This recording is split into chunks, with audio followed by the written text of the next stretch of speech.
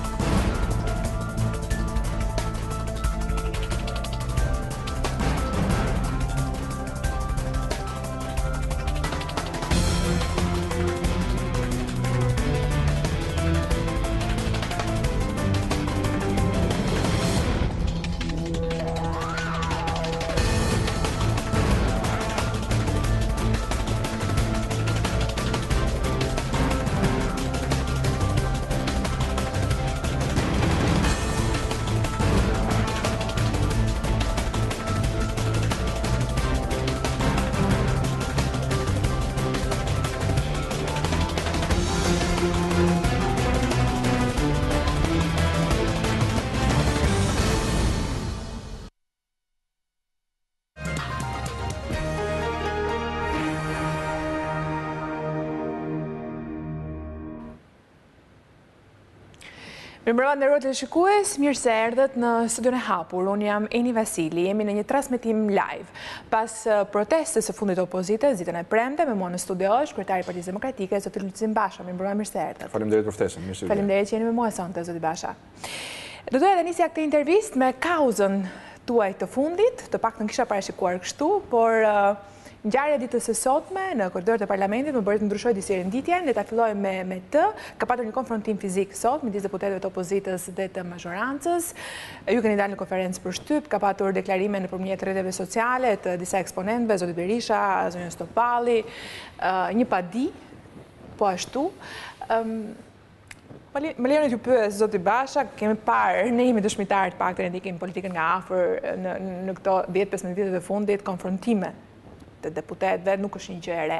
Çfarë ka ndryshe? Ka një mobilizim ndryshe këtë radhë, padi, deklarime, konferencë shtypi? Nuk është hera e parë apo jo? Ngjarja e sotme është një ngjarje jashtëzakonisht e rëndë, jo për faktin se, siç thatë dhe ju, përleshjet fizike midis deputetëve janë një risi, Por për faktin se ajo që ndodhi sot ishte kronikë e një akti të paralajmëruar. Prej më shumë se dy muajsh, zoti Strazimiri dhe deputetë të tjerë të opozitës janë vënë nën shënjestrën e Edi Ramës, jo në kuptimin politik të fjalës, jo në kuptimin verbal të fjalës, ndonëse gjuha e kryeministrit është një gjuhë e papranueshme për Shqipërinë e vitit 2014, është një gjuhë e vjetër dhe e vjetruar që projekton vetëm urrejtje, mllef dhe përbuzje për opozitën e vendit, është një gjuhë përjashtuese, denigruese, por për faktin se Edi Rama tash tre muaj e gjysëm, katër muaj, e në veçanti pas intensifikimit të debatit parlamentar dhe shoqëror për çështjen e trafikut të drogës dhe përgjegjësitë e qeverisë dhe të atij personalisht për situatën e krijuar, ka angazhuar brenda parlamentit dhe jashtë parlamentit individë të përfolur për lidhje kriminale, të cilët tashmë kanë kaluar një kufi të kuq, duke përdorur intimidimin fizik, kërcënimet fizike dhe siç u provua sot edhe dhunën fizike ndaj deputetëve të opozitës, me një dhe vetëm një qëllim, për t'ju mbyllur gojën. Ky është realiteti i sotëm. Sot Gent Strazimiri, sekretari i grupit parlamentar demokrat, është agresuar fizikisht me urdhër të drejtpërdrejtë të Edi Ramës. Ju keni prova për këtë, keni informacione? Me urdhër të drejtpërdrejtë të Edi Ramës, jo për çështje që ishin në debatin e ditës, as duke marrë shkak nga ndonjë retorikë e sotme, por sepse zoti Strazimiri, sikundër dhe deputetë të tjerë të opozitës, janë vënë nën shënjestrën e Ramës për t'u intimiduar me çdo kusht fizikisht, për t'ju mbyllur gojën. Ky ishte episodi i sotëm. Na shpjegoni, pse me urdhër të Ramës, ose pse deklaroni kështu dhe jo një zënkë banale, siç kemi parë edhe të tjera? Sepse nuk ka asnjë element të zënkës banale këtu. Është një kronologji ngjarjesh, që siç thashë origjinon prej disa muajsh. Paralajmërimet në adresë të zotit Strazimiri kanë mbërritur edhe në adresën time si kryetar i Partisë Demokratike, përmes zërave të ndryshëm të personave të përfolur me lidhje kriminale në Parlamentin Shqiptar, të cilët kanë shënjestruar, siç thashë midis tjerëve, zotin Strazimiri, si një nga deputetët më vokalë në Parlament. Pra, është një akt mafioz, banditesk për t'i mbyllur gojën. Nuk është një akt i asnjë prej tre individëve të cilët natyrisht mbajnë përgjegjësitë e tyre penale, sepse janë instrumenti i dhunës, së ushtruar, por është akt i drejtpërdrejtë i Edi Ramës për të cilin ai mban dhe do të mbajë përgjegjësi personalisht. Keni informacione edhe për deputetë të tjerë të vënë në shënjestër përveç zotit Strazimiri? Janë vënë në shënjestër vazhdimisht. Janë kërcënuar në sallën e Kuvendit. Kush tjetër?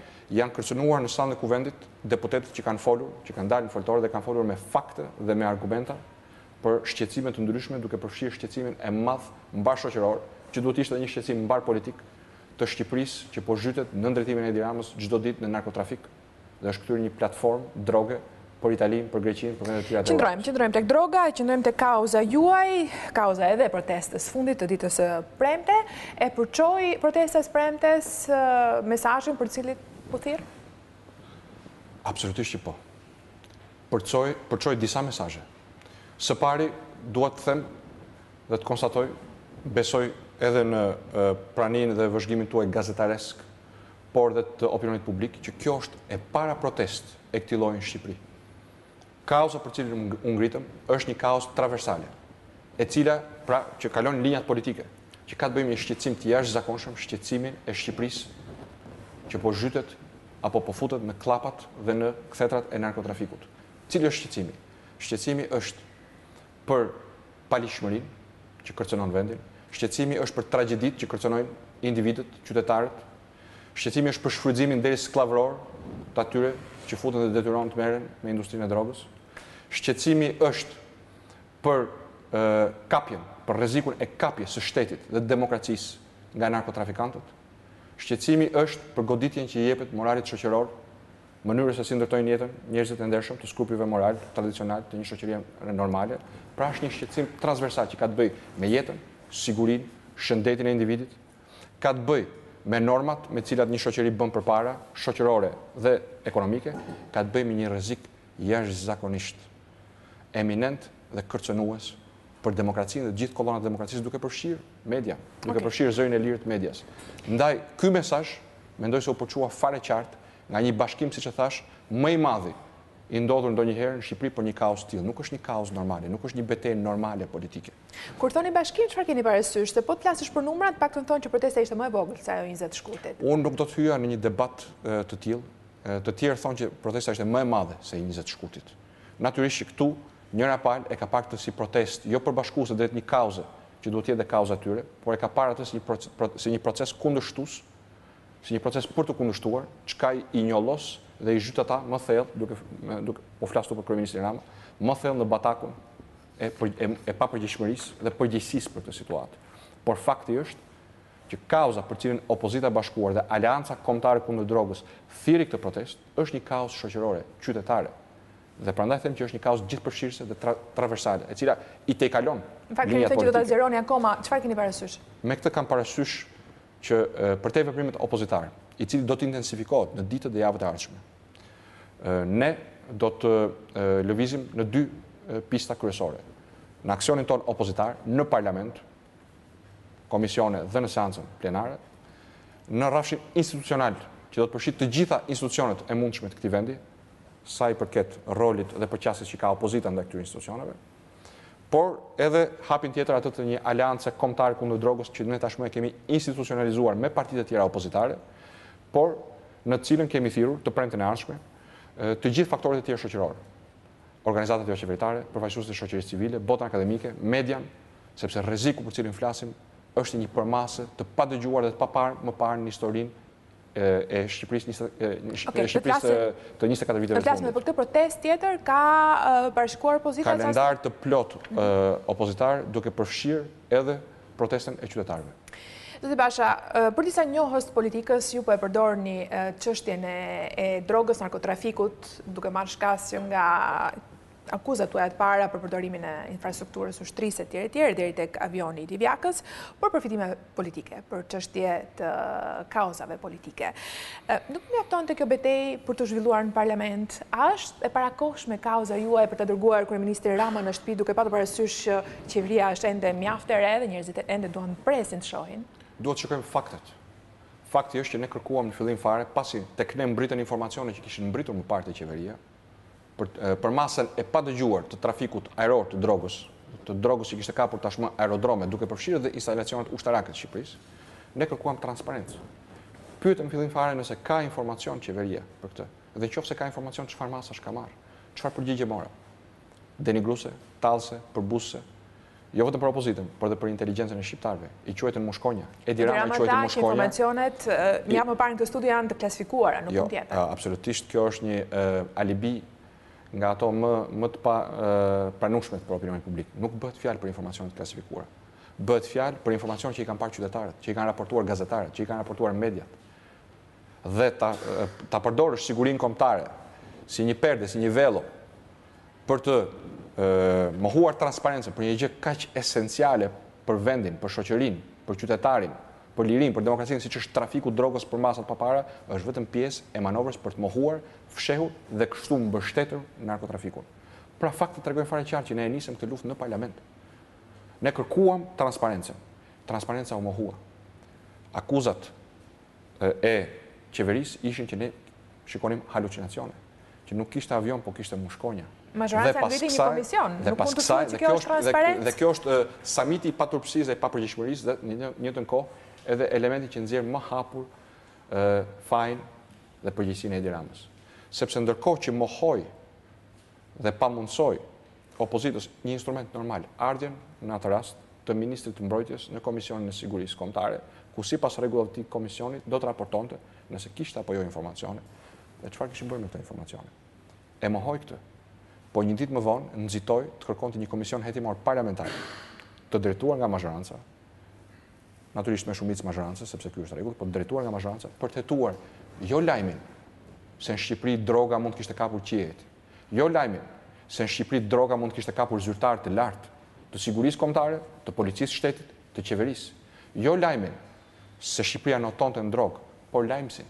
për të hetuar opozitën, pra për t'i mbyllur gojën opozitës. Megjithatë ministre Kodheli, vajti në prokurori menjëherë të nesërmen, edhe kjo është një një një një Zonja Kodheli ka përgjegjësitë e saj jo? për mohimin flagrant që bëri në kuvend, duke deklaruar që nuk ka as fakte, as prova. Zero fakte, tha, dhe kjo është diçka që është transmituar gjerësisht nga media. Fakte, kështu tha, edhe shish, kështu tha, nëpërmjet deklaratës, nuk ka fakte, nuk ka evidenca. Por sot, por sot, pamë një tjetër, Ministre të mbrojtjes, e cila nuk mund t'i fshihet më së vërtetës.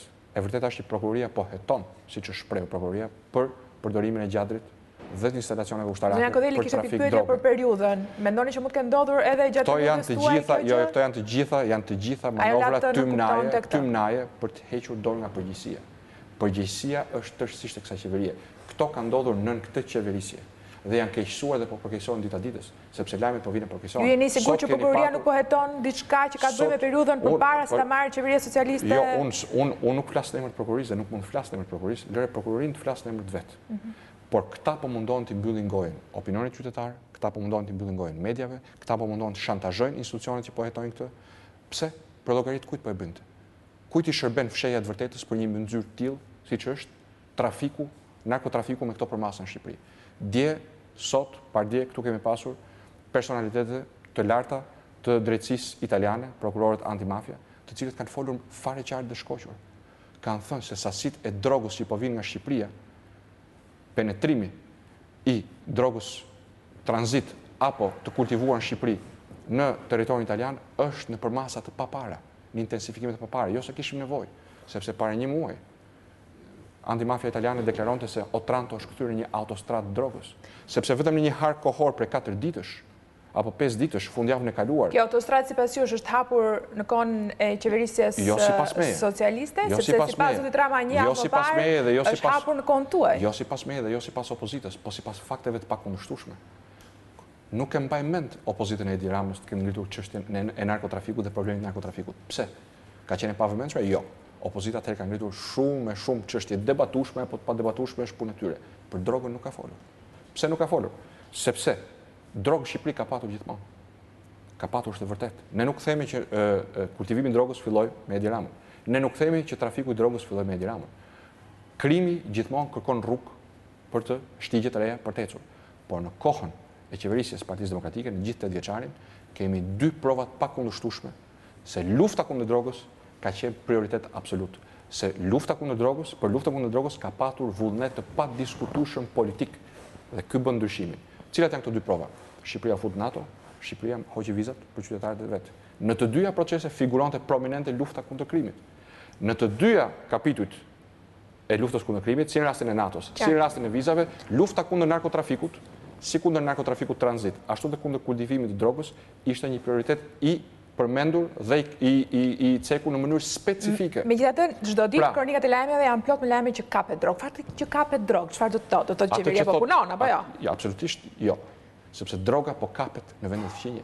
Edhe në Shqipëri po kapet. Po kronikat tona janë përditë. Po kapen sasi në Shqipëri, dhe natyrisht unë përgëzoj çdo aksion policor dhe çdo punonjës të policisë së shtetit apo të strukturave të tjera të sigurisë në vend që kontribojnë në kapjen e drogës, por sasitë e drogës që po kalojnë në kufijtë e Shqipërisë nën hundën e policisë dhe të institucioneve të tjera janë të frikshme. Janë pesëfishuar, dhjetëfishuar. Dhe e dyta, Siç ua tha sot prokurori antimafia, sasitë që nuk po kapen janë, siç janë gjithmonë, një shumëfish i sasive që po kapen. Dhe ky është shqetësimi. Vetëm para se të kaloni, domethënë, e vetmja gjë që dua të kujtoj për të për të vënë gjërat në perspektivë është që sasia e kapur në periudhën janar, shkurt, mars, vetëm tre vende, Itali, Greqi, Gjermani, sipas raportimeve të tyre, kap një vlerë përafërt prej 250 milionë eurosh. Për tre muaj dyqind e pesëdhjetë milionë euro mall janë interceptuar, drogë janë interceptuar. Imagjinoni se çfarë sasie ka kaluar dhe pyetja që shtrohet pastaj është çfarë bëhet me këto para. Këto janë para të pista. Qartë. Para të pista do të thotë zgjedhje të pista, zgjedhje të pista do të thotë pushtet i pisët. Dhe kjo është kauza politike që ne kemi ngritur përtej kauzës tjetër që është okay. një kauzë mbarëshoqërore, edhe kjo është një kauzë mbarëshoqërore, është rreziku, kërcënimi që i vjen demokracisë në tërësinë e saj. Zoti Basha, më lejoni. Para se ta, para, jo, edhe një, vetëm dua të ndal vetëm një sekond. Kur them në tërësinë e saj, i them edhe kësaj studioje i vjen. Edhe ju si gazetar i vjen. Edhe këtij televizioni i vjen dhe në fakt në dijen tim, dijenin time i ka ardhur paralajmërimi nga paratë e pista të drogës, mediave, gazetarëve, atyre që kërcënohen me kokën e dhisë të prerë dhe të hedhur në oborr, qytetarëve, të cilët nuk mbrohen edhe kur kërcënohen apo keqtrajtohen në vend që të merren në mbrojtje, dhe natyrisht opozitës, e cila sot kulmoi me goditjen e një anëtari të opozitës nga persona të përfolur me lidhje kriminale që sot gëzojnë imunitet politik përmes karriges së deputetit. Qëndrojmë te droga, qëndrojmë te droga e kapur tek fqinjët, më lejoni në këtë moment që t'ju tregoj se çfarë ka thënë zoti Rama në lidhje me këtë një javë më parë ishte në këtë karrige ku jeni ju sonte.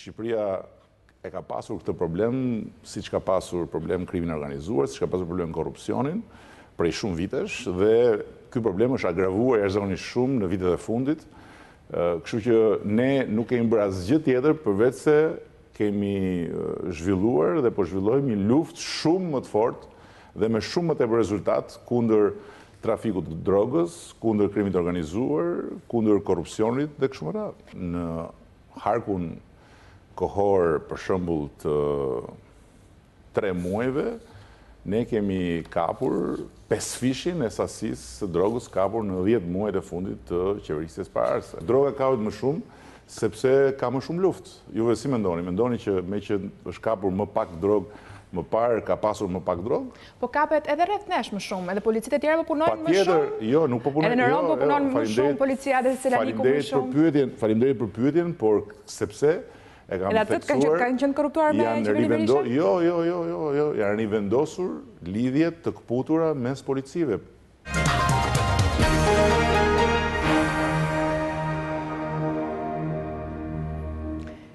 Ka patur më përpara, janë rivendosur lidhjet të shkëputura mes policive, po punohet më mirë, po bashkëpunohet më mirë, ndaj po kapet drogë më shumë.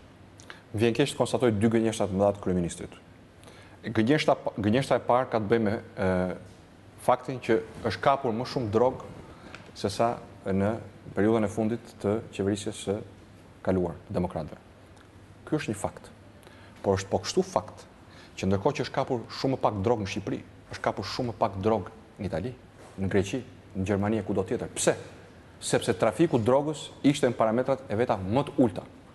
Më të ulëta. Ju kujtoj këtu se në raportin e Bashkimit Europian dhe të Departamentit të Shtetit, trafiku tranzit i drogës në vitin dy mijë e njëmbëdhjetë u cilësua zero, zero, asnjë kilogram, ndërsa trafiku i kanabisit të kultivuar në Shqipëri kishte rënë në kuota minimale. Dhe ju kujtoj se pikërisht bazuar mbi këto të dhëna, shqiptarëve iu hoqën vizat. Ju hoqën, ju dhanë lirim për të, për të lëvizur lirshëm. Pra, këtu ka një gënjeshtë. Gënjeshtra parë është, keqinterpretimi i fakteve.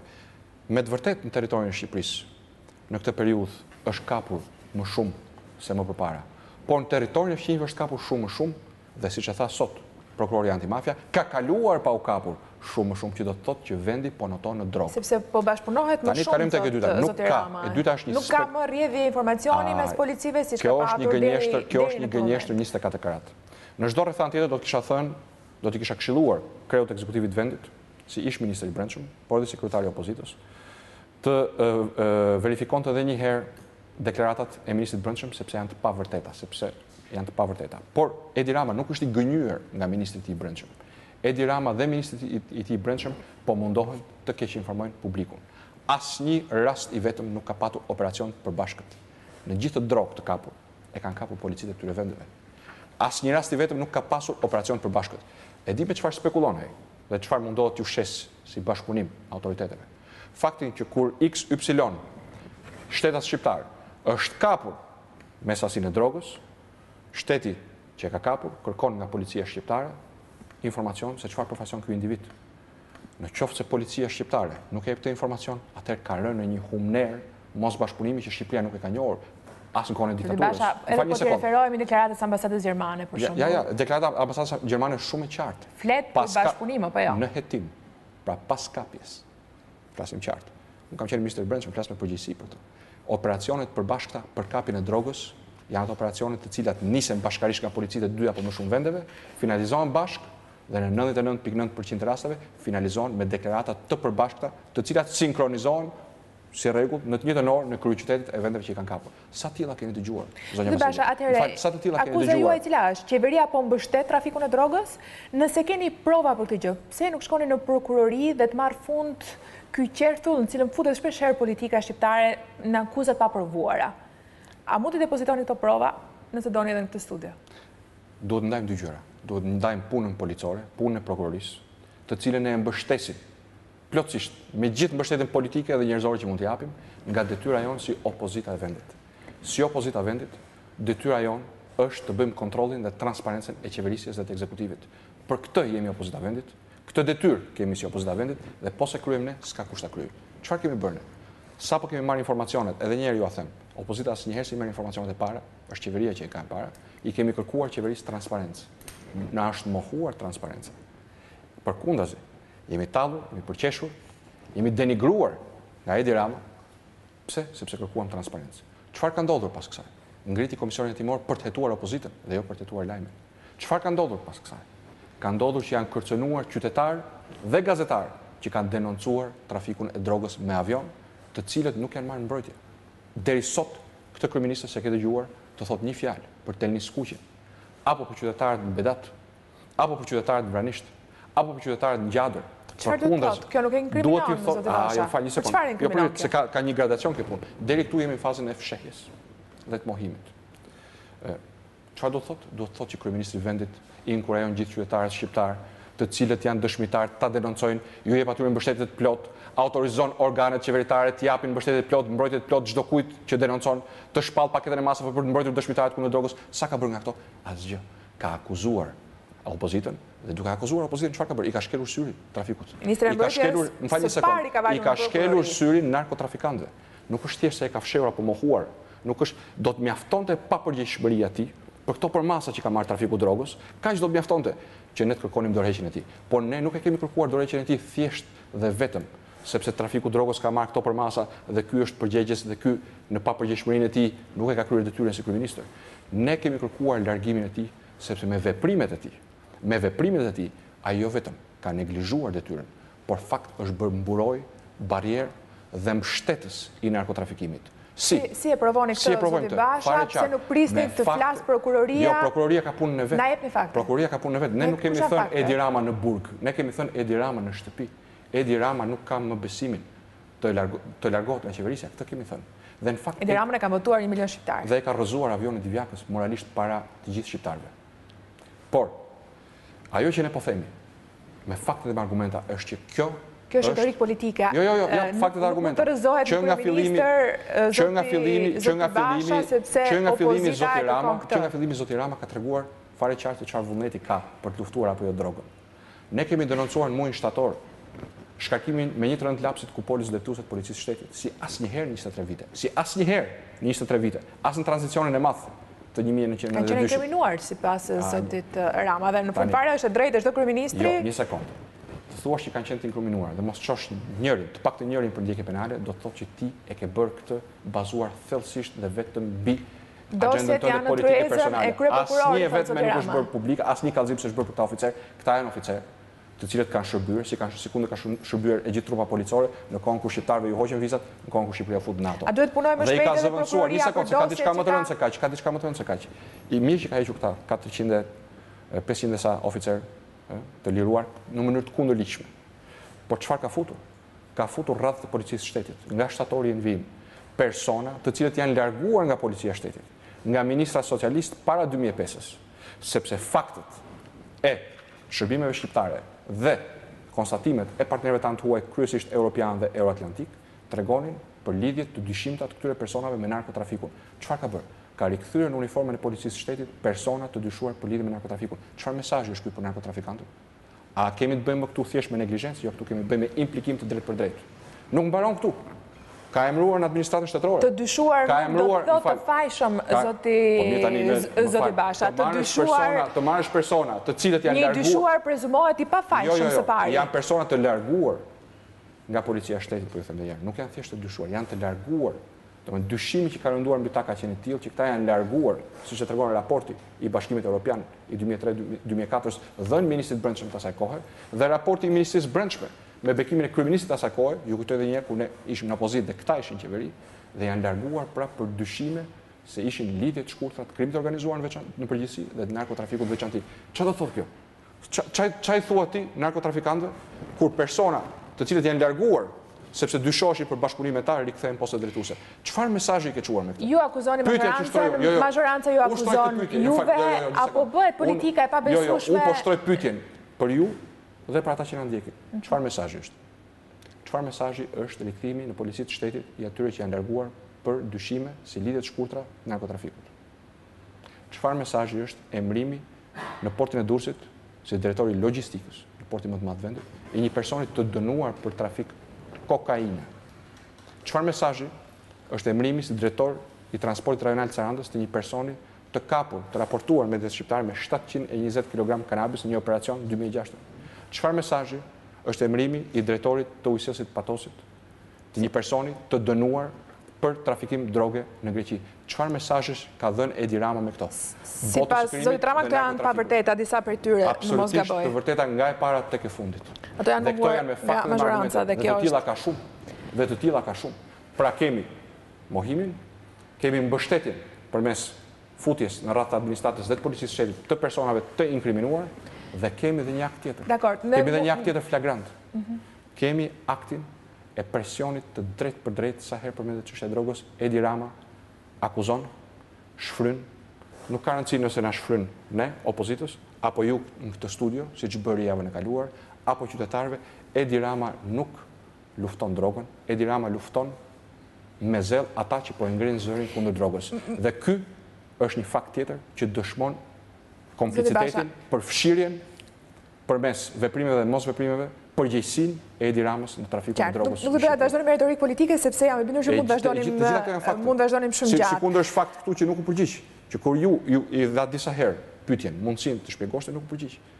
Sikundër pas protestës, qëndrimi që mbajti pas protestës. Ai dha shpjegimet e veta, dhe ne nuk mund të themi që ai nuk dha shpjegimet e veta. Ai u kthye këtu me një... Nuk mund të jetë shpjegimet që doja unë, apo donit ju, apo do do një... Ai u kthye këtu me një shprehje të padenjë për një për një qytetar normal, aq më shumë për një kryeministër të vendit dhe nuk i dha përgjigje pyetjes tuaj, po ju akuzoi ju, siç akuzoi opozitën, është i njëjti qëndrim. Zoti Basha, me çfarë thotë kjo? Më falni, unë nuk dua të arrijmë konkluzione, sepse i kemi arritur konkluzione, dua vetëm të pyes, çfarë do të thotë kjo? Pse e bën Edi Rama këtë? Pse Edi Rama sa herë që përmendet droga dhe trafiku i drogës e mohon? e fsheh apo tallet ose kërcënon bashkëbiseduesin, qoftë ky gazetar, opozitë apo qytetar. Nuk e ka mohuar, për shembull, rastin e Divjakës, në këtë studio zoti Rama tha që është një rast që ende duhet zbardhur dhe duhet duhet të flasin institucionet. Dhe kjo është edhe pyetja ime zoti Basha, sepse gjatë tetë viteve të qeverisjes suaj, por edhe opozitës së mëparshme, sa herë ikin e vijnë qeveritë, ikin e ndryshojnë mazhorancat apo opozitat, akuzat kanë qenë nga më të ndryshmet, megjithatë, kanë zënë njëra-tjetrën, ngjarjet janë harruar, faktet nuk kanë dalë asnjëherë në shesh dhe rrallë kemi parë fajtorët e vërtetë të shkojnë para drejtësisë apo të përgjigjen. A nuk po bëhet pak e pabesueshme politika në këtë kuptim? A duhet të flasin institucionet, a duhet të flasë prokuroria përpara se të flasin? Institucionet janë të inkurajuara të bëjnë detyrën e tyre. por opozita nuk mund të heshtë. A duhet të kishte folur deri tani prokuroria për rastin e Divjakës, a duhet të ishte zbardhur, a duhet të kishim gjëra të qarta? Prokuroria po punon sipas deklaratave që kanë bërë dhe unë uroj Po pra, po kjo është gjithmonë deklarata e kryeprokurorëve kushdo qofshin ata. Po, unë dua të them vetëm këtë, që ne opozita, Partia Demokratike mbështesim plotësisht punën e institucioneve, mbështesim punën e prokurorisë, mbështesim punën e atyre policëve të ndershëm, të cilët e konsiderojnë betejën me drogën një betejë etike siç është në të vërtetë. Por opozita është në detyrën e saj. T'i thuash opozitës hesht kur vendi është mbytur në trafikun e drogës dhe kryeministri larg prej të qenit përgjegjës për luftën kundër narkotrafikut, është përgjegjës për luftën kundër opozitës që ngre problemin.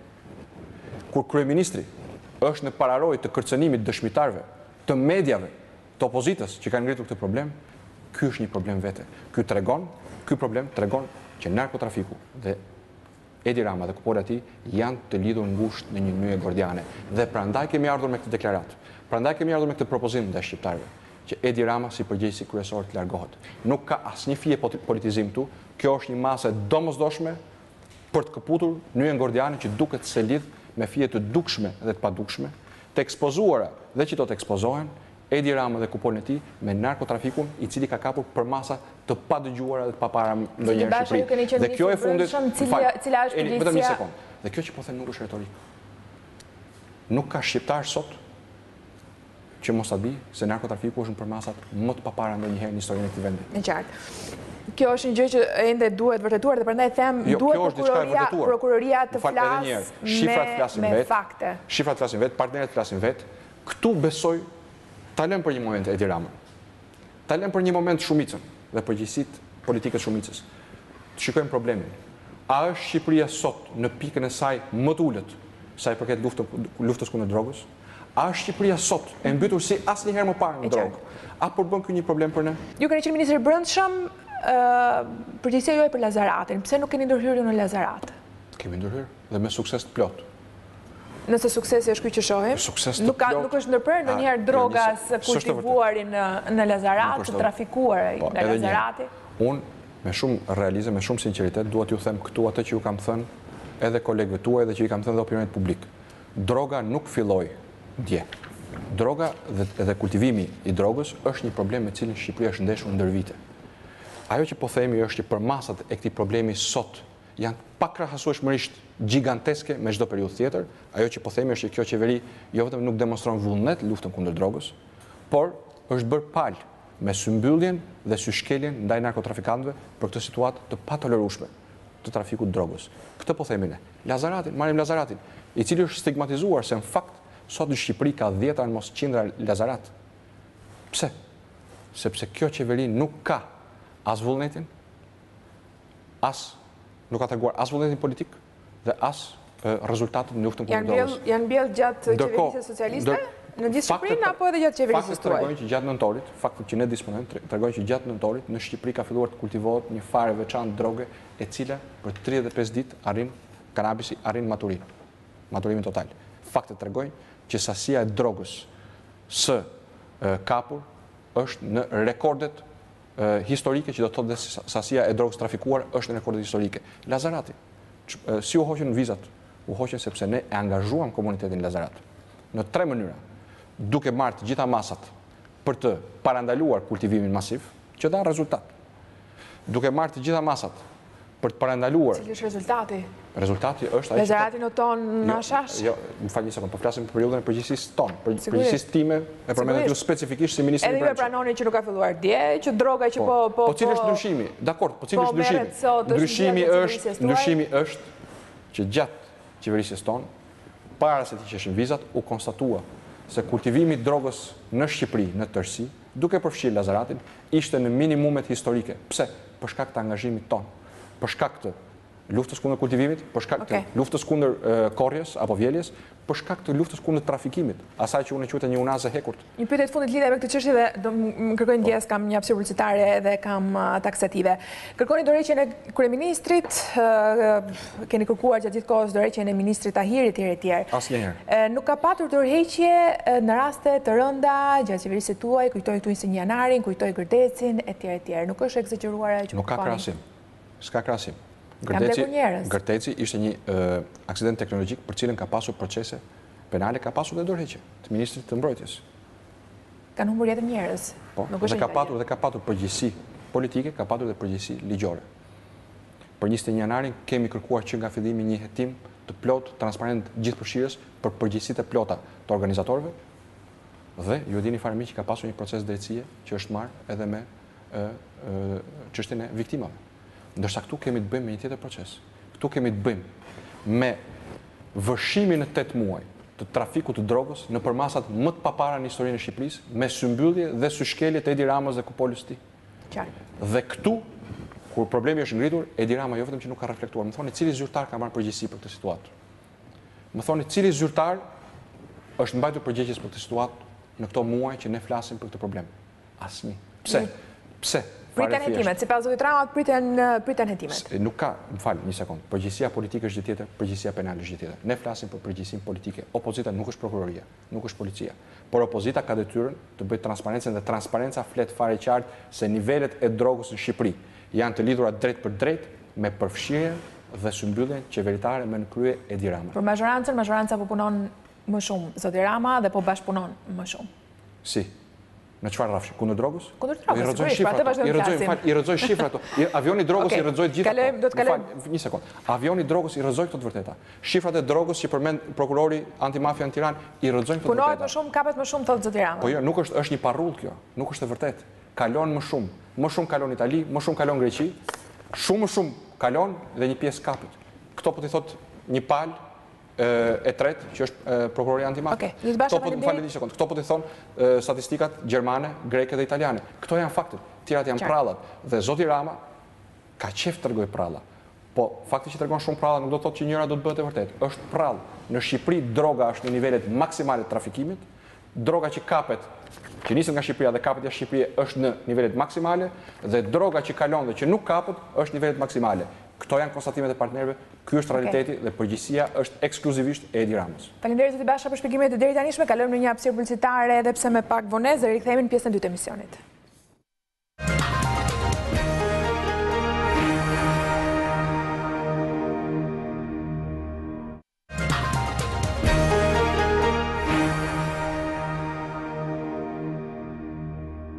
Të në këto momente edhe për shkak të faktit që pranë grevës së urisë ka vajtur ish-kryeministri Berisha do doja të ndalesha te ky argument, zoti Basha. Për disa ditësh Pranë godinës së kryeministrisë po zhvillohet kjo grevë urie e disa ish-punonjësve të administratës që duan të rikthehen në punë, pasi gjykatat u kanë dhënë të drejtë, ju e mbështesni këtë grevë, por edhe nga disa analiza në shtypin e shkruar, ju jeni dhe nxitësi i saj, është e vërtetë kjo?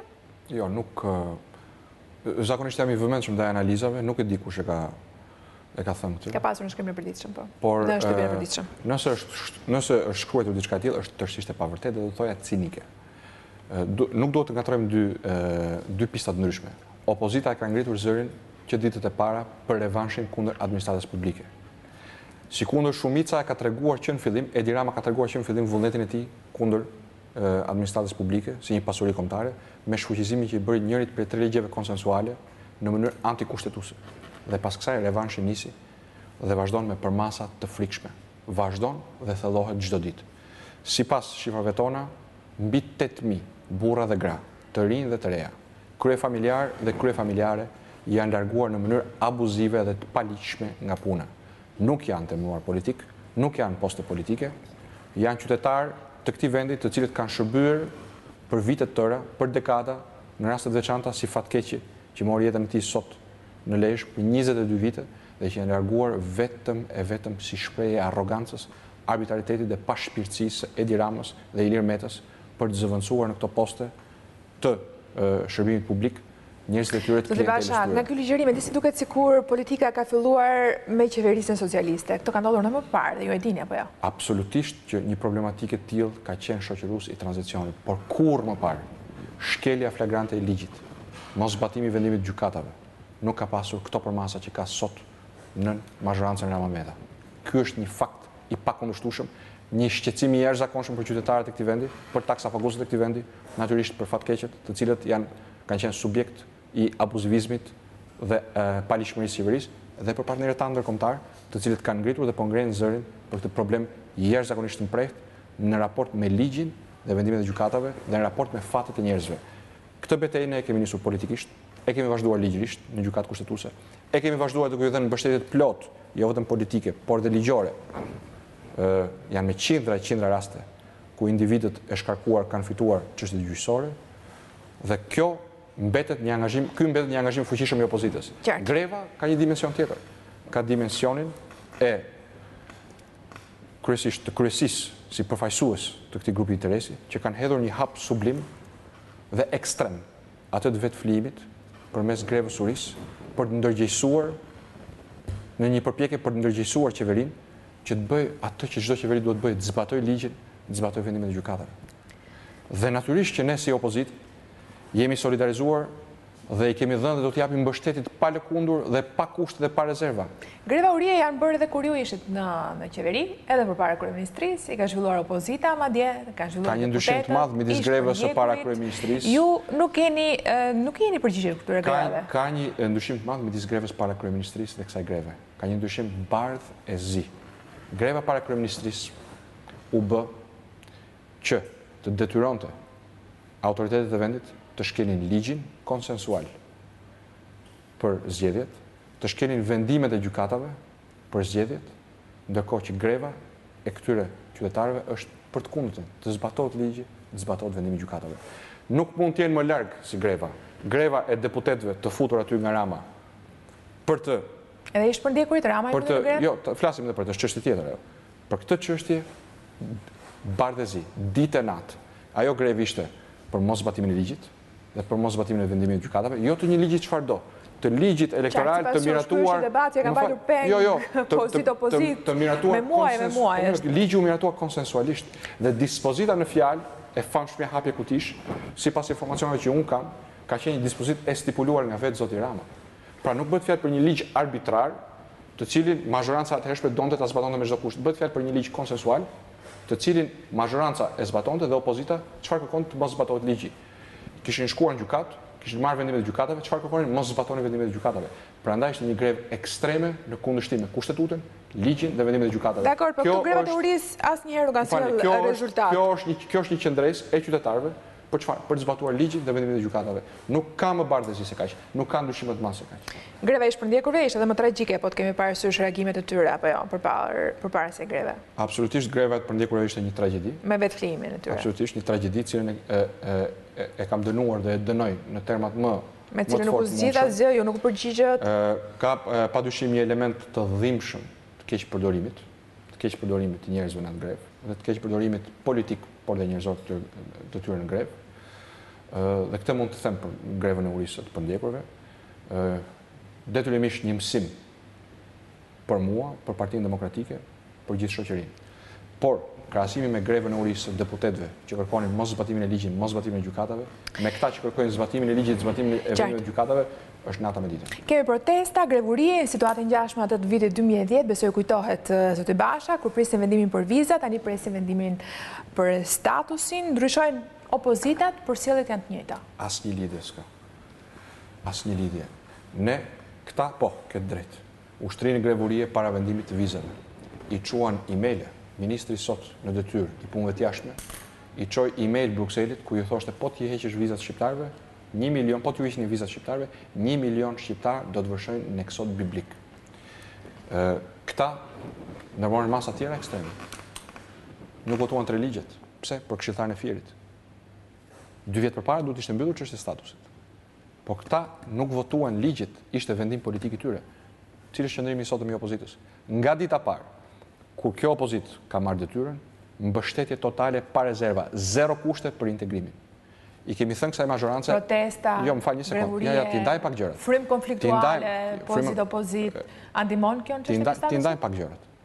Qëndrimi i opozitës është një gjë tjetër, dhe qëndrimi i mazhorancës është një gjë tjetër. Unë do flas për përgjegjësitë që ne kemi si opozitë, dhe pastaj të analizojmë përgjegjësitë e mazhorancës këtu. Ne kemi pasur këtë qëndrim dhe kemi këtë qëndrim. I kemi thënë Edi Ramës dhe Ilir Metës dhe ia përsëris edhe sonte nga kjo studio. Opozita shqiptare është e përkushtuar njëqind për qind për marrjen e statusit. Është e vetmja opozitë në Ballkan, në dijeninë time, që ka lobuar dhe lobon aktivisht për marrjen e statusit, sepse besojmë që statusi është një etapë e përmbyllur me sukses, Shqipëria dhe shqiptarët e meritojnë, pavarësisht prej rekordeve të kësaj qeverie. Po të them edhe këtë tjetrën. A nuk është përkushtimi kryesor fryma konstruktive për të vendit, zoti Basha, rekordet pozitive midis pozitës dhe opozitës. Pa dyshim, po është kjo mazhorancë. Zgjidhja e çështjeve brenda institucioneve dhe jo në rrugë. Pa dyshim, po është kjo mazhorancë e cila institucionet po mundohet t'i kapë. Opozitën po mundohet ta përjashtojë nga realiteti demokratik. Kjo është mendësia e këtyre. Përjashtimi i opozitës, fyerja e opozitës, gjuha e urrejtjes ndaj opozitës. Ndërsa, në raport me integrimin europian të vendit, është kjo mazhorancë e cila duke mos zbatuar përkushtimet që vetë ka marrë karshi Bashkimit Europian, Në tetor u zotuan, firmosën një deklaratë ku thanë, angazhohemi për pavarësinë e ILDKP-së, për pavarësinë e AMA-s. Çfarë kanë bërë? Kanë kapur dhe ILDKP-në dhe edhe po bëhen gati të përfundojnë kapjen e AMA-s. Angazhohemi për pavarësinë e institucioneve dhe sistemin e kontrollit të balancave. Çfarë çfarë po bëjnë? I janë përveshur çdo kompetence të Presidentit të Republikës për Kushtetutë dhe në mënyrë antikushtetuese po godasin një nga një institucionet e pavarura, sundimin e ligjit, vendimet e gjykatave. Kjo është sjellja që kërcënon, kërcënon integrimin europian të vendit në tërësi. Jemi tek sjellja e opozitës. Po. Më lejoni të Më fal, vetëm vetëm edhe këtë të them të fundit. Edhe në këto kushte, të këtij konfliktualiteti politik të Edi Ramës dhe Ilir Metës kundër opozitës. Të këtij revanshi të paparë kundër institucioneve të pavarura, ne vazhdojmë t'i përmbahemi qëndrimit tonë zero kushte për integrimin, mbështetje totale për integrimin. Por Edi Rama Eni, nuk na ka kërkuar të votojmë asnjë ligj. Nuk na ka kërkuar të votojmë asnjë reformë. I ka votat. Më fal, asnjë reformë. Më fal një sekondë. Asnjë reformë për integrimin. Nuk ka sjellë në parlament asgjë për integrimin. Na ka kërkuar dhe na kërkon të mbyllim gojën për trafikun e drogës. Na ka kërkuar dhe na kërkon të mbyllim gojën veshët dhe sytë për kapjen e institucioneve.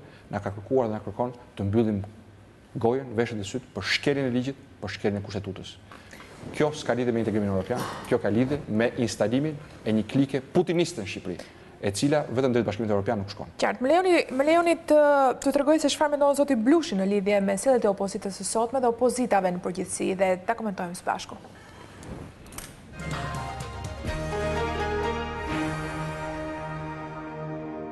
PD-ja tani ka dalë në opozitë. Në opozitë po bën në fakt të gjitha gjërat e këqija që kemi bërë ne kur ishim në opozitë. Që nga bojkoti i parlamentit tek greva para kryeministrisë tek bllokimi i procesit të integrimit, të gjitha këto i kemi bërë ne. Dhe prandaj ndenjëm 8 vjet në opozitë në fakt. Sepse bëmë këto gjëra pa sens. Po nevoja, prapë e theksoj, e dy partive të mëdha për të bërë si njëra-tjetra është shumë e çuditshme.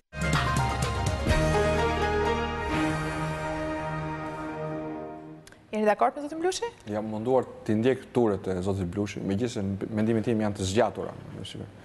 Lejën e shkrimtarit e ka ezauruar disa herë, mendoj që kjo reflektohet, pastaj edhe në mënyrën se si i përqaset çështjeve politike, sepse asnjë nga ato të treja që tha nuk qëndrojnë. Nuk qëndron greva, greva e deputetëve për të mos zbatuar ligjin dhe për të mos zbatuar vendimet e gjykatave nuk ka lidhje me grevën e urisë të nëpunësve që duan të kthehen në vendin e punës, nuk është nuk kanë kërkesa politike, nuk nuk kanë thënë të ikë qeveria apo e, të ata kërkojnë që të zbatohet ligji. Dhe Rama të hapeshin kutitë kërkonte, nuk kërkonte të ikte qeveria. Jo, po, është kërkesa kërkesa politike ishte e qartë. Çliro kutitë, çliro vizat, hap kutitë, të iki qeveria, ato ishin kërkesa kryekëput politike. Sepse të kërkosh moszbatimin e ligjit, të kërkosh moszbatimin e vendimeve të gjykatave më politike se kaq s'bëhet. Pra, nuk qëndron krahasimi për grevën, nuk qëndron krahasimi për integrimin, sepse integrimin, për integrimin ne kemi një rekord që flet qartë, jua them edhe një herë, jemi e vetmja opozitë në Ballkan që aktivisht lobon për statusin, janë e vetmja ndoshta nga të paktat opozita në historinë e Europës, e cila nuk miratoi tre ligjet, mbajti dy vjet statusin peng. Ju loboni për statusin, mund të na jepni ndonjë informacion të saktë? Janë të gjitha që janë bërë publike, nuk ka asgjë të fshehtë këtu. Në çdo kontakt në nivelin më të lartë, timin si kryetar i opozitës, të deputetëve tanë në Bruksel apo në kryeqytetet europiane, kryefjala jonë ka qenë Shqipëria dhe shqiptarët e meritojnë statusin. Qartë. Është një pra, etapë që duhet. Qoftë fitorja, qoftë dështimi është edhe përgjegjësia juaj. Edhe nëse nuk e marrim statusin, ju nuk keni lobuar sa duhet. Është një etapë që duhet përmbyllur. Natyrisht punën tonë nuk e bën të lehtë rekordi i kësaj qeverie. Nuk e bën të lehtë fakti që Shqipëria sot afishohet si një vend me rekord kolumbian për sa i përket trafikut të drogës dhe me një rekord të errët sa i përket përgjegjësive të qeverisë për të luftuar drogën. Nuk e nuk e ndihmon fakti që shkel ligjin dhe hedh në rrugë tetë mijë nëpunës civilë të vendit vet. Nuk e ndihmon fakti që sulmon konstant Presidentin e Republikës dhe institucionet e pavarura. Nuk e ndihmon fakti që me papërgjegjshmërinë e saj po e zhyt vendin në një krizë ekonomike. Nuk e ndihmon fakti që evazioni fiskal dhe korrupsioni në tenderat publikë po kap lartësi të panjohura në dhjetëvjeçarin e kaluar. Të gjitha këto natyrisht nuk shërbejnë, por ne si opozitë rolin tonë, fjalën tonë, punën tonë për statusin po e bëjmë dhe do ta bëjmë. Për ta dhe është fare e thjeshtë. Për ta mbyllur statusin e meritojnë shqiptarët. Do flasim edhe për statusin. Është një arritje të cilën ne e kemi. Kemi kontributin tonë në këtë arritje. Parashtro të njëjtën pyetje për shembull, në qoftë se në qoftë se këto ndodhi, do të kishin ndodhur gjatë periudhës që Shqipëria donte të futeshte në NATO.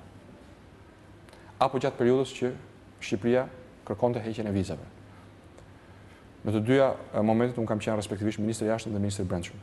Dhe të them me përgjegjësi të plotë, po të më pyesësh, në qoftë se do të kishte qenë ky rekord i këtyre 9 muajve, a do të ishte Shqipëria në NATO, a do ta kishte marrë vendimin pozitiv, a do të hiqeshin vizat? nuk e dim. Më fal një sekondë. Dhe nuk kemi përgjigje dot nga ata që duhet ta japin. Po dal diku tjetër, po dal diku tjetër. Unë besoj që jo. Por kjo s'do të thotë Që ne si opozitë themi tani Shqipëria dal nga NATO, Shqipëria t'i rikthehen vizat. Ndonëse ky rrezik është më i fortë se kurrë sot me këtë rekord. Për të njëjtën arsye dhe për asnjë arsye tjetër, sot themi etapa e statusit është e përmbyllur, pavarësisht prej zullumeve të kësaj qeverie, pavarësisht prej problematikës që ka sjellë me integrimin në tërësi dhe jetën e shqiptarëve në veçanti, Shqipëria e ka përmbyllur pjesën e statusit, etapën e statusit dhe ne vazhdojmë lobimin tonë konstant Edhe në letrën që i kam dërguar dje fituesit të zgjedhjeve në Parlamentin Europian, Partisë Popullore Europiane, partisë tonë dhe partive tona simotra, kam përsëritur me ngulm kërkesën që ky të jetë një oportunitet që faza e statusit të përmbyllet me sukses. Okej, do të kërkoja të mos flisnim me nëse, sepse do të ishte shumë e vështirë, nuk do dilim dot. Një pyetje të fundit për grevën e urisë, përveç suportit moral, do ndërmerrni ndonjë aksion tjetër në mbështetje të tyre? Suporti jonë është i gjithanshëm, është politik, është njerëzor, është qytetar, natyrisht është dhe moral. Është Detyra jonë, është detyra çdo qytetari që në një republikë që synojmë të jetë europiane, të kërkojmë së pari funksionimin e shtetit ligjor, zbatimin e ligjit, së dyti të kërkojmë respektin për vendimet e gjykatave. As më shumë, as më pak kërkojnë këta qytetarë, këta bashkëqytetarë tanët, këta prindër, këta kryefamiljarë në ato çadra, është detyra çdo shqiptari të japë mbështetje.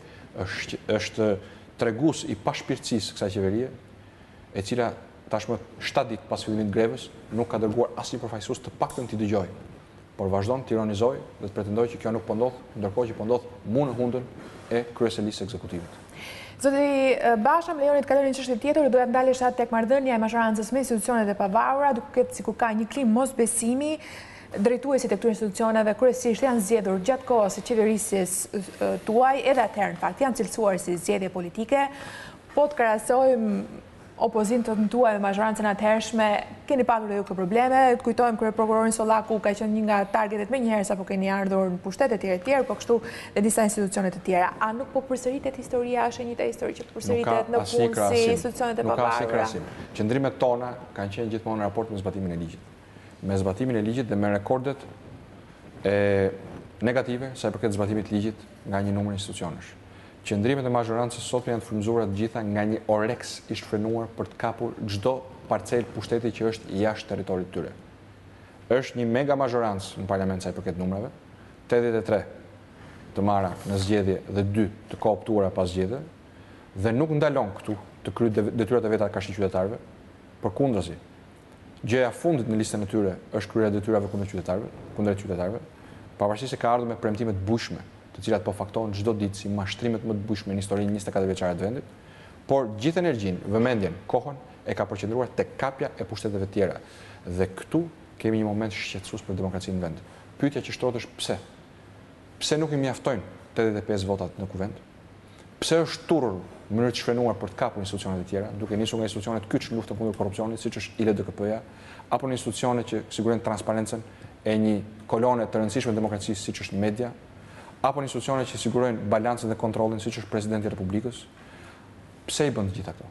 Sepse duket qartasi që agjenda faktike e kësaj qeverie nuk është agjenda me cilën erdhi në pushtet, me cilën morën votat e këtyre qytetarëve, po bie ndesh me këtë axhendë, ndaj duan të marrin të gjitha masat që pushtetin ta ushtrojnë në mënyrë të shfrenuar, të pakontrolluar dhe që paligjshmërinë që e kanë kthyer në sistem, se paligjshmëria është kthyer në sistem, kur qeveria është e para që shkel ligjin dhe kushtetutën dhe nuk zbaton vendimet e gjykatave, atëherë kemi një paligjshmëri të kthyer në sistem, që këtë të vazhdojnë ta thellojnë pa u hyrë ferë në këmbë. Dhe ky është një shqetësim i madhë, i jashtëzakonshëm dhe me përmasa të pakrahasueshme. Gjykata Kushtetuese ka shqyrtuar padinë e presidentit për ILDKP, nëse ju jep të drejtë gjykata, zoti Basha, çfarë do të bëni, do ta riktheni, do të kërkoni që ajo të rikthehet në detyrë, do ketë një proces të ri për zgjedhjen e drejtuesit. Shqetësimi ynë përsa i përket këtij institucioni është që një hallkë e rëndësishme e luftës kundër korrupsionit përmes verifikimit të pasurive të zyrtarëve publikë, tashmë nuk funksionon më si e tillë, sepse në konflikt të qartë dhe të hapur interesi, mazhoranca ka vendosur që nga sistemi i emërimit të kreut të ILDKP-së të heq Presidentin e Republikës si valvula kushtetuese dhe ligjore e kontrollit dhe balancave. Ka pra, një kontroll dhe balancë. Është kaq e rëndësishme, kaq e rëndësishme pavarësia e këtij institucioni, saqë sovrani në mençurinë e tij, në pjekurinë e tij kushtetuese, duke ndjekur shembuj të konsoliduar të praktikave të ngjashme në mos të njëjta, ka vendosur që këtë instrument ta ketë me dy çelësa, çelësi i aprovimit i jepet Parlamentit, shumicës, çelësi i propozimit i jepet Presidentit. Çfarë bëjnë këta? I marrin të dyja çelësat për vete. Situata është e qartë sepse është debatuar. Çfarë do të bëni ju nëse ju jep të drejtë gjykata? Ne presim vendimin e gjykatës kushtetuese, ne presim që gjykata kushtetuese të bëjë drejtësi. Ndër ne besojmë se kërkesa jonë është e drejtë. Edhe mazhoranca beson se kërkesa jonë është e drejtë. Prandaj mazhoranca ka rendur dhe në vend që të korrigjojë sjelljen e vet antikushtetuese me mënyrën se si uzurpoi kompetencat e presidentit Po ndryshon ligjin, ka ndryshuar ligjin, ndryshoi ligjin. Pra, krimin antikushtetus, veprën antikushtetuese që kreu, jo vetëm nuk e merr mbrapsht, por tani nëpërmjet veprimit të, të bërë fakt me aprovimin e ligjit, kriminalizon ligjin, pra kthejnë ligjin në parametra të papranueshëm kushtetus, uzurpon me shumicën e kartonave që ka, një të drejtë që nuk e ka, që qytetarët nuk ja kanë dhënë, Dhe pyetja shtrohet pse? Pse duhet bërë, pse duhet vënë nën kontroll, pse duhet bërë zap ILDKP? Përgjigja për ne është e qartë. Sepse edhe këtë institucion duan ta përdorin për shantazh, duan ta përdorin për të fshehur të ardhurat dhe burimet nga burime kriminale dhe korruptive të kësaj qeverisje, duan ta përdorin për t'i mbyllur gojën disidentëve brenda partisë apo për t'i bërë shantazh organeve të tjera të pavarura. Dhe ky është një shqetësim i cili nuk është më teorik. Ka filluar mazhorancës duan ta përdorin për të bërë transparencë, transparencën edhe të qeverisjes tuaj. Ka filluar të materializohet, të materializohet. Transparenca si rregull, dhe këtë ua kanë thënë fare qartë dhe zyrtarët e lartë amerikanë dhe europianë, fillon nga vetja. Ndërsa këta me këtë akt duan që vetëm nga vetja mos të kenë drejtuar asnjë prozhektor, por ta përdorin ILDKP-në si një kamzhik për të zgjeruar dhe konsoliduar pushtetin e tyre të paligjshëm. Ka disa artikulime të deputetëve të mazhorancës për shkarkimin e presidentit, ka qenë zoti Braho në mos gaboj në Komisionin e Sigurisë, i cili ka bërë një kërkesë të tillë. Keni koment për këtë? Është sinqeriteti me të cilin zoti Braho u shpreh, është shprehje e hapur e mendësisë së mazhorancës dhe dyshes Rama-Meta. Ky do të ishte një moment alarmi në çdo mazhorancë normale që respekton kushtetutën dhe ligjin. Do të ishte një moment serioziteti dhe qëndrimi ndaj një deputeti që është dhe kryetari i Komisionit të Sigurisë Kombëtare, ku në fakt kryeministri hesht dhe kryetari i Kuvendit bën shaka. Kjo tregon se në çfarë kuote të ulët është sot kjo mazhorancë dhe dyshja Rama Meta sa i përket respektit ndaj institucioneve të pavarura, respektit ndaj Presidentit të Republikës. Kjo tregon edhe një herë që këta Çdo gjë që nuk e fusin dot brenda parcelës së tyre, e shohin si një objektiv për ta asgjësuar, neutralizuar apo korruptuar. Mendoni se mund të konkretizohet kjo nismë? Unë besoj se lufta opozitare, se qëndrimet tona, se ndërgjegjësimi i qytetarëve është në nivele të larta dhe do të vijë duke u rritur sa i përket rrezikut që kjo mazhorancë paraqet për Kushtetutën, kushtetutshmërinë, zbatimin e ligjit, pra për paligjshmërinë dhe për revanshin anti-institucional dhe anti-kushtetues që ka ndërmarrë. Çfarë do të bëni nëse konkretizohet në një mënyrë ose në tjetër? Natyrisht, kjo mazhorancë ka treguar se me atë që quhet taktika e sallamit, taktikë putineske, po rrezikon, ka rrezikuar dhe po rrezikon ditë për ditë shtyllat e demokracisë në vend. Hapësira institucionale po vjen duke u ngushtuar. Por kjo mazhorancë i ka bërë hesapet gabim. Pse? Sepse i ka bërë hesapet jo vetëm pa opozitën, por i ka bërë hesapet pa shqiptarët. Kjo mazhorancë nuk është votuar të uzurpojë institucionet, nuk është votuar të merret gjithë ditën me presidentin, nuk është votuar të merret me opozitën kur duhet të merret me narkotrafikun. Çfarë do të bëni ju? Dhe kjo mazhorancë duke goditur këto shtylla të demokracisë nuk bën gjë tjetër veçse forcon, forcon opsionin demokratik që mbetet i vetmi opsion për t'iu drejtuar sovranit, sovranit të vërtetë që është populli dhe pastaj për t'i bërë llogaritë me gjithë shqiptarët, me gjithë shqiptarët e lirë, me gjithë shqiptarët që nuk pranojnë pavarësisht se votues të kujt janë, që ky sistem dhe këto rregulla loje demokratike që janë vendosur në vend, ashtu siç janë, me praktikat ashtu siç janë, një ditë të bukur të bien dhe vendi të trajtohet si një sulltanat privat i Edi Ramës dhe Ilir Metës. Dhe jam i sigurt se ky moment po afrohet shpejt me këtë arbitraritet, se përballja me popullin nuk do të jetë e largët. Faleminderit për shpjegimet e deritanishme në këtë pjesë të dytë. Kalojmë në një hapësirë publicitare dhe rikthehemi për pjesën e tretë. Në këtë transmetim të drejtpërdrejtë, të nderuar teleshikues, në një intervistë me kryetarin e Partisë Demokratike, zotin Lulzim Basha.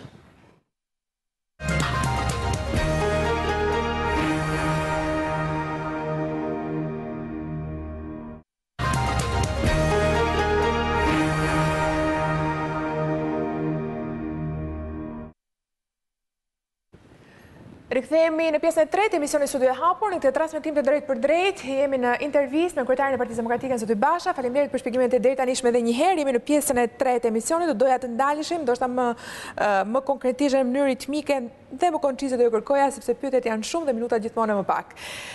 Qëndrojmë tek reforma territoriale, është një reformë shumë e rëndësishme, me sa duket dot deri tani të paktën shanse për konsensus Nuk ka. Është kështu apo mundon ndryshe? Reforma territoriale është një reformë e rëndësishme, po është pjesë e një reforme që quhet reforma decentralizimit. Reforma territoriale është, si me thënë, patkoj, po kali është decentralizimi, që do të thotë forcimi demokracisë vendore, do të thotë forcimi i kapaciteteve të bashkive dhe komunave për t'u shërbyer më mirë, më shpejt qytetarëve shqiptarë. Kemi humbur në këtë diskutim pikërisht faktin që është një reformë substanciale, substantive, thelbësore, që sjell me vete edhe mundësinë e rishqyrtimit të ndarjes administrative të Shqipërisë, sepse mazhoranca është tërësisht e fokusuar te kjo e fundit. Është e fokusuar sepse ka një skemë të parapërgatitur, e cila nuk ka për qëllim as forcimin e demokracisë lokale, pra forcimin e zërit të çdo qytetari sa i përket mënyrës se si administrohet territori i komunës apo i bashkisë, i fshatit apo i lagjes ku jeton, dhe nuk ka si qëllim as për të sjellë një efiçencë më të rritur të shërbimeve, por ka për qëllim të përgatisë një hartë elektorale, kryesisht, tërësisht për qëllimet e veta politike.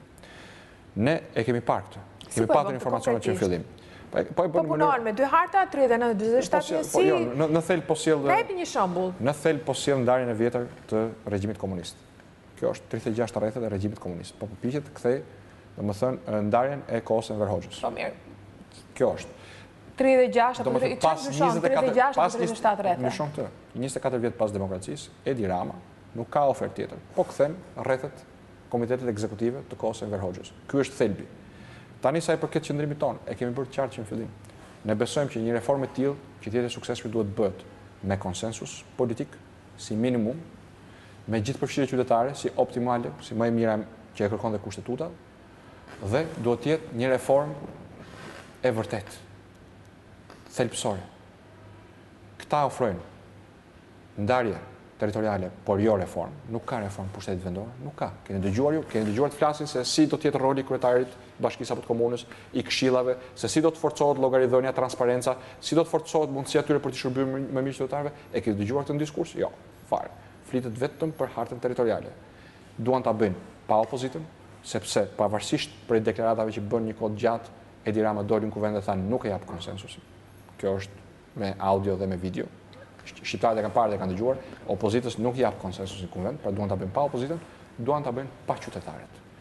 Pra duan të realizojnë me mekanizmat e tyre, një goditje ndaj demokracisë vendore, duan të realizojnë me mekanizmat e tyre një goditje politike me qëllime elektorale. Ju kanë përfshirë në, në, në diskutime, ju kanë ftuar, zoti Basha, ju nuk keni pranuar, keni vënë disa kushte, Jo, duke filluar rikthimin e jo, jo, jo, nëpunësve. Debatet janë bërë edhe në studion time.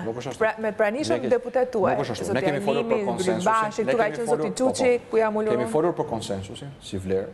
Dhe kemi thënë që kjo qeveri sapo erdhi shkatërroi konsensusin për një gjë kaq vizibël, kaq të pash, kaq të dukshme siç ishte nëpunësi civil. Pastaj kemi thënë që kjo reformë kërkon konsensus. Pra një kusht kemi patur ne, konsensusin. Një kërkesë kemi patur konsensusin. S'ka qenë një tekë e jona. Fakti është që në Shqipëri njëzet e katër vite kjo reformë nuk është bërë asnjëherë pa konsensusin e opozitës. Asnjëherë të vetme, Eni. Edhe kur opozita ka pasur 23 deputetë në parlament. Dakor, pra, po ju as nuk e nisët këtë reformë. Jo, jo, po jo, një sekundë. 28 vjet kishte 8 vite ko, përsa ko është ka qërë Edhe kur ka patur 23 deputetë opozita, një reformë e tillë nuk është bërë pa konsensusin e opozitës. Të ndalemi pak këtu. Pra, këtu kjo mazhorancë po vendos një tjetër rekord paligjshmërie dhe arbitrariteti, sepse po kërkon që një reformë të tillë, e cila normalisht duhet të japi efektet e saj. Po e paligjshme nuk është. Do ta votojmë me votat e veta, është e ligjshme. Këtë mund ta themi. Është e paligjshme sepse kushtetuta, dhe këtu kalojmë tek elementi tjetër. Mund të bëjmë politikë sa duam, por ligji këtu nuk hyn. Kushtetuta ka parashikimet e saj sa i përket ndarjes administrative të vendit.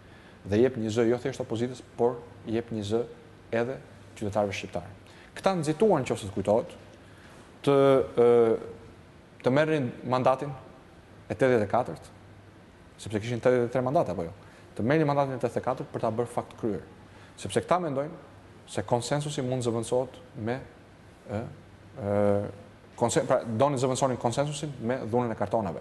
Nuk ka edhe një herë asnjë precedent në Shqipërinë e njëzet e tre viteve të kaluara ku kjo reformë të jetë bërë pa opozitën. Çfarë kërkuam ne? Por ka, por ka precedent merkatos së deputetëve. Është tjetër çështje. Tani kjo kjo kjo ideja se drejt, po. politika ka filluar drejt, ditën që kanë marrë socialistët. Drejt, të jo, doja që jo jo nuk nuk do ishim të besueshëm asnjëri nga ne. Unë në këtë studio. Vitin zero. Ndoshta personi që ishte ulur në këtë karrike para një jave e ka provuar, po unë jo. Pra ke të drejtë për merkaton e deputetëve dhe mund të flasim është temë më vete. Kjo absolutisht drejtë. Këtu po flasim për një çështje tjetër. Po flasim merkato apo jo merkato, tetëdhjetë e katër vota apo njëqind e tetëdhjetë e katër vota, kjo reformë në Shqipëri kurrë nuk është bërë pa konsensusin e opozitës. E kërkuam konsensusin, nuk na e dhanë konsensusin. Çfarë thanë? Hajdeni ta draftojmë bashkë, por do ta votojmë me votat tona. Kur në fakt konsensus do të thotë të votohet së bashku në sallën e parlamentit. Pyetja shtrohet pse nuk e dhanë konsensusin. Kryeministri Rama e dha një shpjegim. Tha që nuk do që procesi të mbahet peng nga opozita në parlament. Po si mund të mbahet procesi peng kur në fund të fundit, në analizë të fundit, ai i ka votat. Pra që në fillim nuk ka patur një vullnet. Nuk ka patur një vullnet, pse? Sepse skema tashmë po del e qartë, nuk ka ofertë të re për shqiptarët, është skema e vjetër e Enver Hoxhës e ndarjes së Shqipërisë në 36 rrethe me komitete ekzekutive. që është një shkatërrim i dyfishtë. Rama është votuar që të qeverisë, të bëjë ligjet e veta, të marrë dhe nismat e veta, jo më kot, ka dhe një mazhorancë të madhe zoti Basha dhe ideja, zoti Rama pak a shumë thotë, unë jam përgjegjës për qeverisjen. Së pari thotë diçka tjetër, thotë unë do të udhëheq, pra është i vetmi udhëheqës në Europën pas rënies së murit të Berlinit. që i thotë vetes udhëheqës. Ky thotë unë do të udhëheq, jam për të udhëhequr dhe jo të qeveris. Dhe në fakt, në fakt, ka të drejtë. Se vetëm nuk po qeveris. Reformë po udhëheq, më fal, po udhëheq nga zullumi në zullum. Reformë territoriale ndërsa sa i përket sa i përket konstatimit tuaj, jo ky nuk e ka, nuk e ka as nga tradita historike, as nga kushtetuta të drejtën t'u imponojë shqiptarëve një ndarje të re administrative, aq më shumë ndarje të vjetër administrative, ndarjen e kohës së Enver Hoxhës, pa ofruar konsensusin politik si minimum dhe pa ofruar konsultimin e plotë me qytetarët si optimum kushtetues në vend. Ndarje pa konsensus. Dera nuk është e mbyllur, ta them dhe këtë. Po. Kohën e kanë të reflektojnë. Opozita as nuk ka vendosur kushte të reja, po as nuk mund të tërhiqet nga kjo që ka kërkuar në emër të një reforme të qëndrueshme, të vërtetë dhe të dobishme për qytetarët. Por me sa duket, mendjen e kanë të ndarë për të bërë ndarjen elektorale të cilës i janë përveshur që kur kanë ardhur, që ditën e parë që kur kanë ardhur në pushtet. Kjo nuk është hartë e re. Pavarësisht prej farsës së konsultimeve, kjo hartë ka qenë në tavolinën e Edi Ramës që ditën e parë kur është ulur në tavolinën e kryeministrit të vendit. Pra gjithë procesi është një farsë totale. Ne si opozitë, Kush e ka vënë, kush e ka vënë këtë hartë në tavolinë? Gjithë ata nëpunësit e tij. Ë nga njëra anë mbështesim. Jemi të hapur. Në çdo moment dhe i bëj thirrje edhe sonte të mos bëjnë hapin e gabuar të miratimit të një reforme të tillë pa konsensus. Por nga ana tjetër ju them që jemi të vendosur që nëse e çojnë deri në fund këtë që ka nisur, opozita bashkë me qytetarët e lirë të vendit do t'i presë me kushtetutë në dorë në sheshet dhe rrugët e vendit. Protesta në korrik, gjatë gjithë verës, do të kemi stinë protestash. Dhe jo vetëm. Çfarë tjetër? Të gjithë aksionin e mundshëm opozitar për të ndalur pakushtetutshmërinë e rikthimit të hartës së Enver Hoxhës dhe për t'ju imponuar shqiptarëve, atyre që jetojnë në qendrat e mëdha urbane dhe atyre që jetojnë në komuna malore apo në realitetet gjeografike dhe sociale të margjinalizuara, mungesën e shërbimeve, mungesën e llogaridhënies, mungesën e zgjedhjes me votë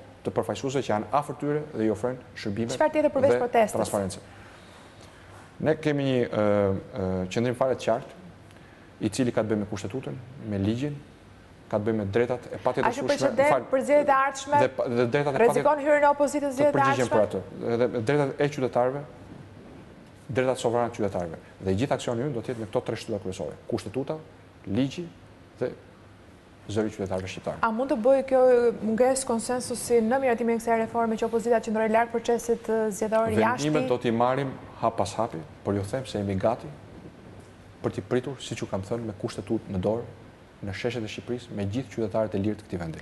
Qëndrojmë te një reformë tjetër e paralajmëruar, një reformë shumë e rëndësishme, shumë e trumbetuar, nuk është bërë kurrë nga asnjë qeveri, reforma në drejtësi, Zoti, zoti Basha, mendoni se drejtësia është në nivelet e duhura në këtë vend, gjukata, prokuroria, dhe cila është përgjegjësia juaj dhe e qeverisjes tuaj? Drejtësia është një degë e pavarur e pushtetit, e cila funksionon mbi dy parime, parimin e pavarësisë dhe parimin e përgjegjësisë para ligjit. Dobësimi apo bjerrja e njërit prej këtyre dy kolonave të këtij pushteti jetik për demokracinë dhe për shtetin ligjor, cilado nga dy kolonat që të jetë, sjell efekte shkatërrimtare. Unë besoj se përgjegjësia, përgjegjshmëria e drejtësisë në tërësi nuk është aty ku e presin shqiptarët. Nuk dua të fus të gjithë në një thes dhe nuk mundet, sepse e di që ka përkushtim, ka përgjegjësi. Por për nga vetë natyra e sistemit është e lehtë të stigmatizohet puna e drejtësisë dhe të shprehemi në bllok për të. Fakti është që drejtësia më shumë se kurrë ka nevojë për mbështetje. Mbështetje e cila të konsistojë në forcimin e përgjegjësisë dhe llogaridhënies para ligjit të drejtësisë, por pa cënuar pavarësinë e gjyqësorit. Kërcënimi më i madh në pikëpamjen time, si kryetar i opozitës, por edhe si dikush që i ka kushtuar një pjesë jo të shkurtër të jetës së tij profesionale sistemit të drejtësisë, është që nën petkun e forcimit të përgjegjësisë para ligjit dhe vetëm ligjit të organeve të drejtësisë, të kapet dhe të uzurpohet drejtësia apo me fjalë tjera të dëmtohet shtylla tjetër ekzistenciale e sistemit drejtësisë që është pavarësia. Ne nuk jemi e para shoqëri e cila ndeshemi me problemin dhe sfidën e reformimit të drejtësisë, rritjes së efiçencës së punës, rritjes së përgjegjshmërisë, së besueshmërisë. Por jemi ndër vendet me nivelin e korrupsionit në drejtësi ndër më të lartët, apo jo? Absolutisht dakord me ju. Por ne jemi një nga ato të pakta raste kur qeveria akoma nuk ka dhënë një platformë. Flet për reformën në drejtësi, po më thuaj pak me dy fjali çfarë ka propozuar. Deri tani asgjë. Po punon mbi të. Çfarë ka propozuar? Çfarë keni dëgjuar ju? Cilat janë, më thuaj dy aksioma të reformës tyre? Konkrete ende jo, nuk ka, por nuk ka. Pse pse nuk ka? Sepse nuk ka platformë. Sepse platforma është, nuk është. Platforma nuk është Reforma në drejtësi për ta bërë drejtësinë më përgjegjëse para ligjit dhe më të pavarur, reforma është për të kapur drejtësinë. Jeni propozitiv për të marrë pjesë në këtë reformë nëse mazhoranca do t'ju ftojë? Reforma në drejtësi nuk është prerogativ i mazhorancës. Reforma në drejtësi është prerogativ kushtetues, i cili bëhet merr jetë përmes pjesëmarrjes së domosdoshme të dyja krahëve politikë, sepse përndryshe në qoftë se nuk ka konsensus, në qoftë se njëra palë i përvishet pa konsensus, kjo është qartësisht e pavlefshme, antikushtetuese dhe me pasoja të drejtpërdrejta në kapjen e drejtësisë, por nga ana tjetër kërkon dhe një përfshirje të plotë të drejtësisë vetë dhe të shoqërisë me gjithë instrumentet e saj. Kryeministri Rama tha në këtë studio, do apo s'do opozita ne do ta bëjmë edhe reformën në drejtësi. Nuk ka jemi votuar nga shqiptarët për t'i bërë këto reforma. Nuk ka nuk ka dhe nuk mund të ketë reformë në drejtësi të njëanshme. Ajo vetëm reformë nuk është, ajo është kapje e drejtësisë. Dhe sinjalet e para janë që kjo mazhorancë nuk ka interes për reformë në drejtësi. Kryeministri i vendit është sot i vetmi kryeministër i cili merr në telefon gjyqtarët dhe iu bën presion për raste, për çështje ku qeveria është palë. Merr gjyqtarë të gjykatave të ndryshme dhe iu bën presion për çështje specifike. Dhe në qoftë se ky është koncepti i reformës në drejtësi, kjo, kjo vetëm reformë s'është. Kjo vetëm reformë s'është. Kjo është kapje. Këto janë akuza sërish, kjo, akuza dhe retorikë. Kjo është, jo, nuk është retorikë. Kjo është kapje e drejtësisë. Ne kemi gjithë vullnetin. që së bashku me faktorin politik, që është legjislativi, pse jo dhe me ekzekutivin, me drejtësinë vetë, në të gjitha hallkat e saj, me faktorin ndërkombëtar që ka investuar kaq shumë në këtë sistem, të përqafojmë përvojat më të mira për të kryer një reformë reale të sistemit të drejtësisë, e cila do t'i shërbejë fuqizimit të drejtësisë dhe jo kapjes dhe ngecjes së drejtësisë në rrjetën e mazhorancës së radhës. Do doja të ndalonim në një çështje tjetër, qëndrojmë tek Partia Demokratike, tek partia, tek opozita që po ju po bëni, ka diskutime të shumta, normale është, për mënyrën se si ju po drejtoni opozitën. Zoti Basha, sa e vështirë është? Fatmirësisht. Sa e vështirë është të jeni kryetari i Partisë Demokratike? Natyrisht që Partia Demokratike është një parti me histori të madhe, është një parti me një rekord të pakrahasueshëm në raport me çdo parti tjetër politike sa i përket këtyre njëzet e katër viteve të fundit. Është po kështu një parti me ambicie të mëdha. Kështu që do të isha i pasinqertë po t'ju thoja se kjo nuk është një barrë e madhe, një sfidë e jashtëzakonshme, një përgjegjësi e jashtëzakonshme, por që unë kam zgjedhur pas besimit të detyrës nga anëtarësia e Partisë Demokratike ta marr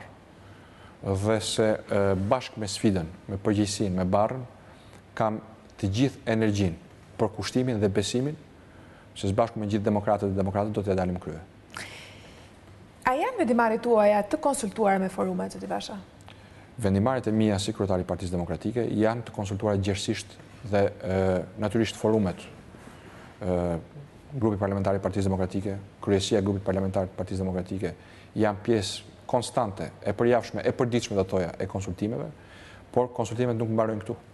Konsultimet janë shtrirë dhe do të vazhdojnë të shtrihen në anëtarësinë e gjerë të Partisë Demokratike, është synimi im, është objektivi im që Partia Demokratike të funksionojë në vendimmarrje si një parti horizontale, pra një parti ku vendimmarrja i takon sa më shumë dhe sa më thellë anëtarit dhe anëtares së Partisë Demokratike. Do të qëndrojmë edhe tek zgjedhjet në parti më pas, protesta, gjuha e egër, akuza, denoncime, kërkesa radikale, siç është edhe kërkesa për dorëheqjen e Kryeministrit e tjerë e tjerë, ngjan me opozitën e ish Kryeministrit Berisha, duket sikur ai është ai që përcakton në një farë mënyre drejtimin dhe gjuhën që duhet përdorur. Është e vërtetë kjo? Pse nuk kemi një, një, një, një shfaqje identitare të Zotit Basha, me një opozitë krejtësisht ndryshe? Dikush e ka pritur dhe këtë. Unë e, unë e lë këtë në vlerësimin e gjithsekujt, dhe jam shumë i vëmendshëm ndaj vlerësimeve të ndryshme që bëhen për këtë çështje.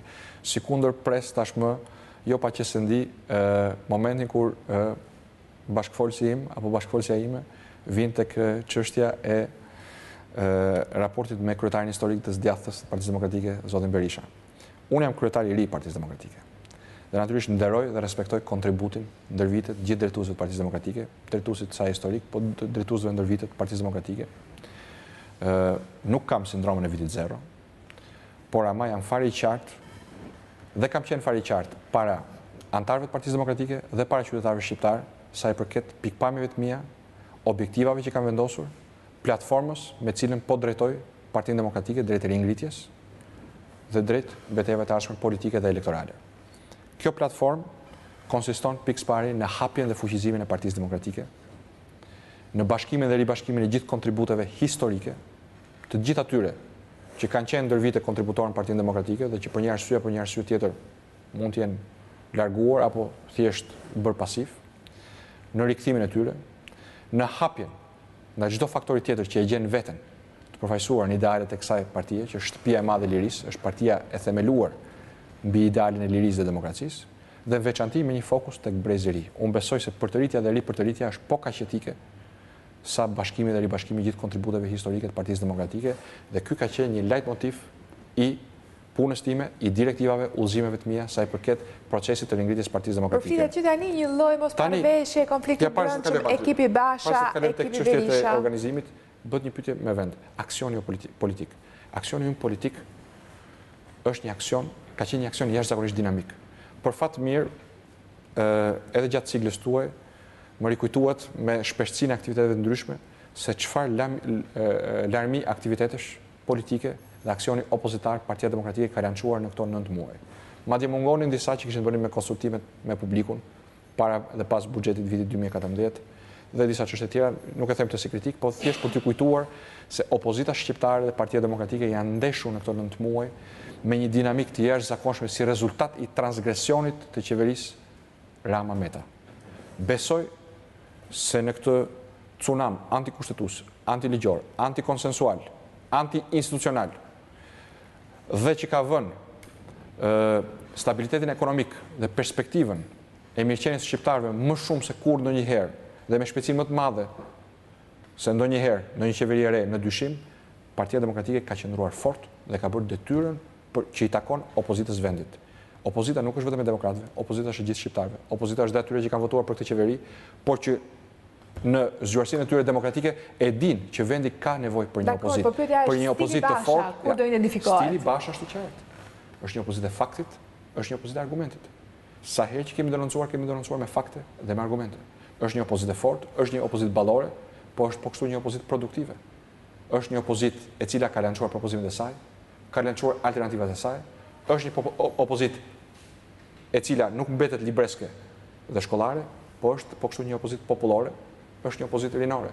Mendoj se spektri i aktivitetit tonë ka treguar qartë një fizionomi të re të opozitës në Shqipëri, tërësisht të pakrahasueshme me opozitën e kaluar tetë vjeçare që është sot mazhorancë, por besoj gjithashtu mendoj me tipare fare të dallueshme nga opozitat. Jo, po e krahasoni me opozitën e e Berishës, po, jo, jo, drejtimin e Partisë Demokratike jo, nga Zoti Berisha, nuk kishim lidhje me Zotin Rama. Mendoj se nëse ka, domethënë nëse ka diçka për cilën mund të biem dakord është opozita në këto 9 muaj, pavarësisht prej përfitimit nga përvoja opozitare e Partisë Demokratike në periudhën 97-2005, Ka treguar se ka qëndruar në lartësinë e sfidave të kohës. Nuk është një opozitë refraktare dhe retroaktive, është një opozitë e aktualitetit dhe perspektivës. Edhe një opozitë që bën opozitë brenda institucioneve, brenda parlamentit, jo me kaq tone të larta akuzuese dhe denoncuese, ndoshta do ishte e mirëpritur. Është, opozita s'mund të jetë jo denoncuese.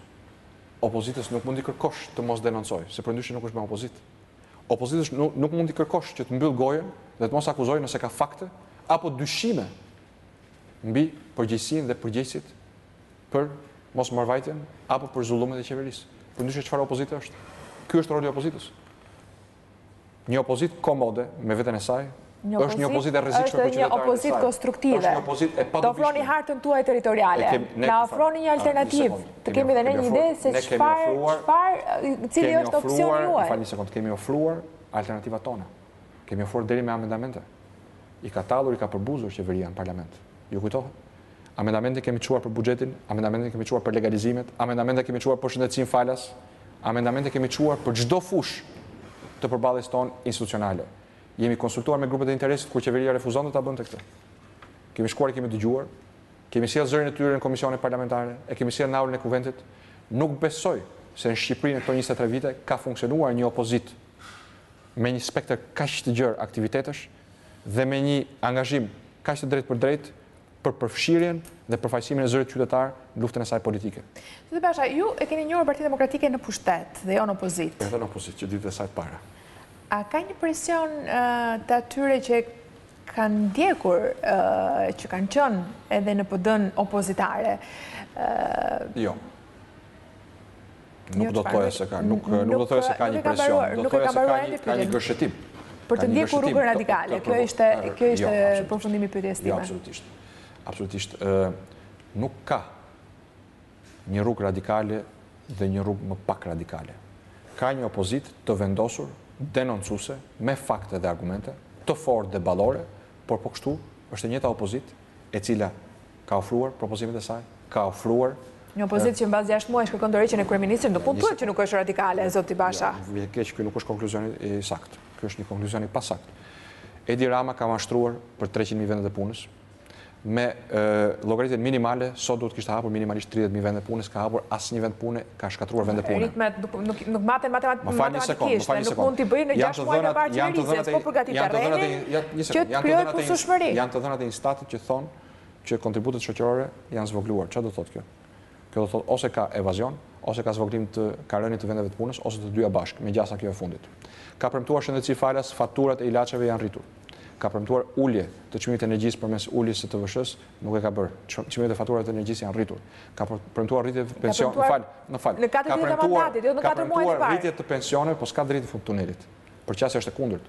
Ka premtuar rritje të pensioneve, po rrit vetëm moshën e pensioneve.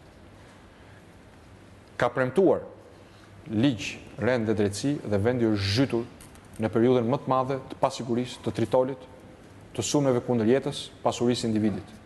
Dhe për të gjitha këto ne kemi mbajt qëndrimet tona politike, nuk na ke dëgjuar të kërkojmë dorëheqjen e qeverisë. Nuk na ke nuk na ke dëgjuar të të kërkojmë dorëheqjen e Edi Ramës për këto. Janë përgjegjësi të mëdha të gjitha këto. Janë premtimet me të cilat erdhi në pushtet, për këto erdhi në pushtet, për çfarë votuan shqiptarët? Për këto erdhi në pushtet. Po, po ta gjejnë qeverisë. Megjithatë ne nuk kemi që që që ka të muaj të para, mund të kërkoni këtë? Nuk e kemi kërkuar dorëheqjen për këto. Ne kemi kërkuar dorëheqjen e Edi Ramës si zgjidhje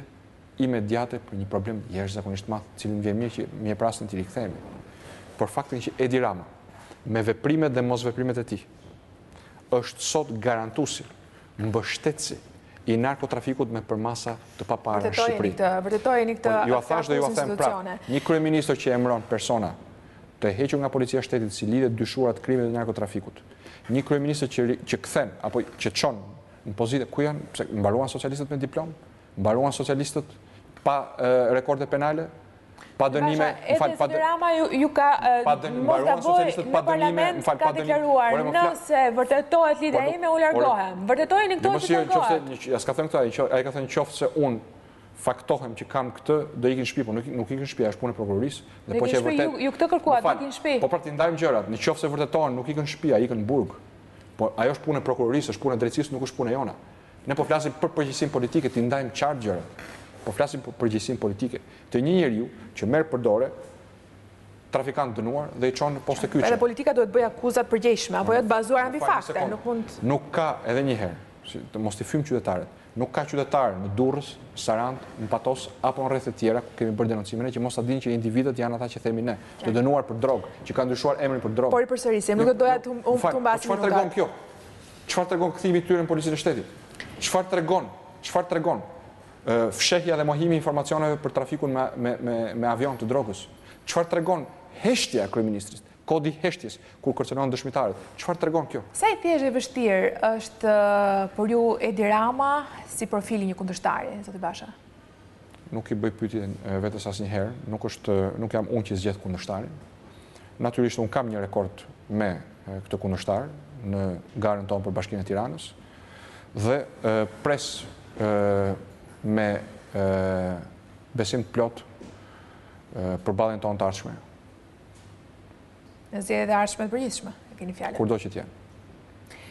Në zgjedhjet lokale, me sa di ju nuk do të rikandidoni apo jo? E keni deklaruar. Jo, ky është një konkluzion i nxituar nuk do të them dashakeq, po i nxituar, i, i qarkulluar, sepse sa herë që jam pytur, kam dhënë përgjigjen time. Kam dhënë përgjigjen, ky është një vendim që do të merret në momentin e duhur. Nuk e kam përjashtuar asnjëherë rikandidimin. Dakord, pra një vlerësim për profilin e leadershipit të Ramës? Nuk më takon mua të bëj vlerësime për profilin e leadership-it, sepse vlerësimi ynë si opozitë është i qartë. Është një kryeministër i dështuar, është një kryeministër i cili është faktuar mashtrues në të gjitha premtimet e pambajtura që i ka shkelur, i ka braktisur sapo ka ardhur në pushtet, është një kryeministër i rënë moralisht, i rrëzuar moralisht kur u rrëzua avioni i drogës në Divjakë. Le të ndjekim çfarë mendon ai për ju atëherë.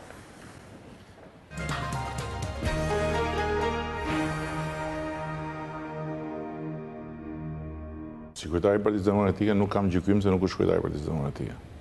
Si kryetar i bashkisë s'kam gjykim se nuk është kryetari i bashkisë. Ky është ky është gjykimi im. Cili është kryetari i bashkisë? S'kemi. S'kemi kryetar bashkie.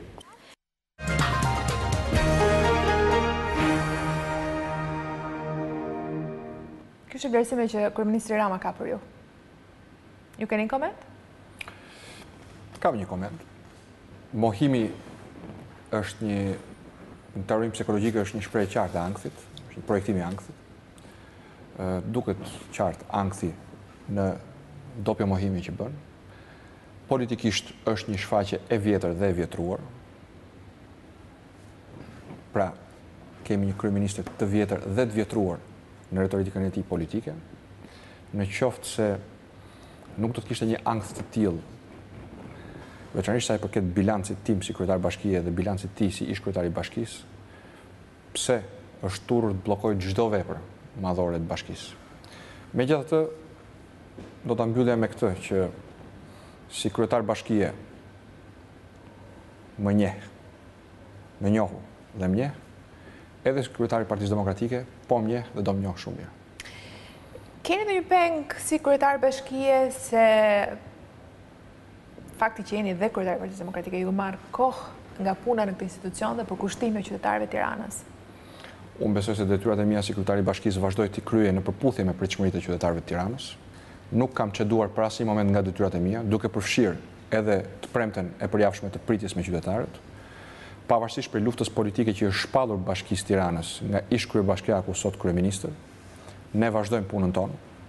pavarësisht prej bllokimit absurd të buxhetit, po mbushet gjysma e vitit dhe Edi Rama me urdhër politik ka bllokuar buxhetin, pra varrezat, shkollat, kopshtet, rrugët e qytetit të Tiranës, ka bllokuar një fond të veçantë që ne bashkë me një organizatë amerikane vëmë në dispozicion për punësimin e të rinjve, pavarësisht prej kësaj, ne do të insistojmë punën tonë të përditshme. Nuk ka dhe nuk do të ketë reciprokim të luftës politike nga bashkia. Bashkia është dhe mbetet e rrethuar dhe e goditur politikisht nga Edi Rama, por bashkia dhe kryetari i bashkisë janë dhe mbeten njëqind për qind në dispozicion të qytetarëve të Tiranës pa dallime politike dhe në dispozicion të axhendës time për një Tiranë moderne dhe europiane ku jetohet më mirë, ka shanse më të mira për punësim dhe shijohet më mirë jeta.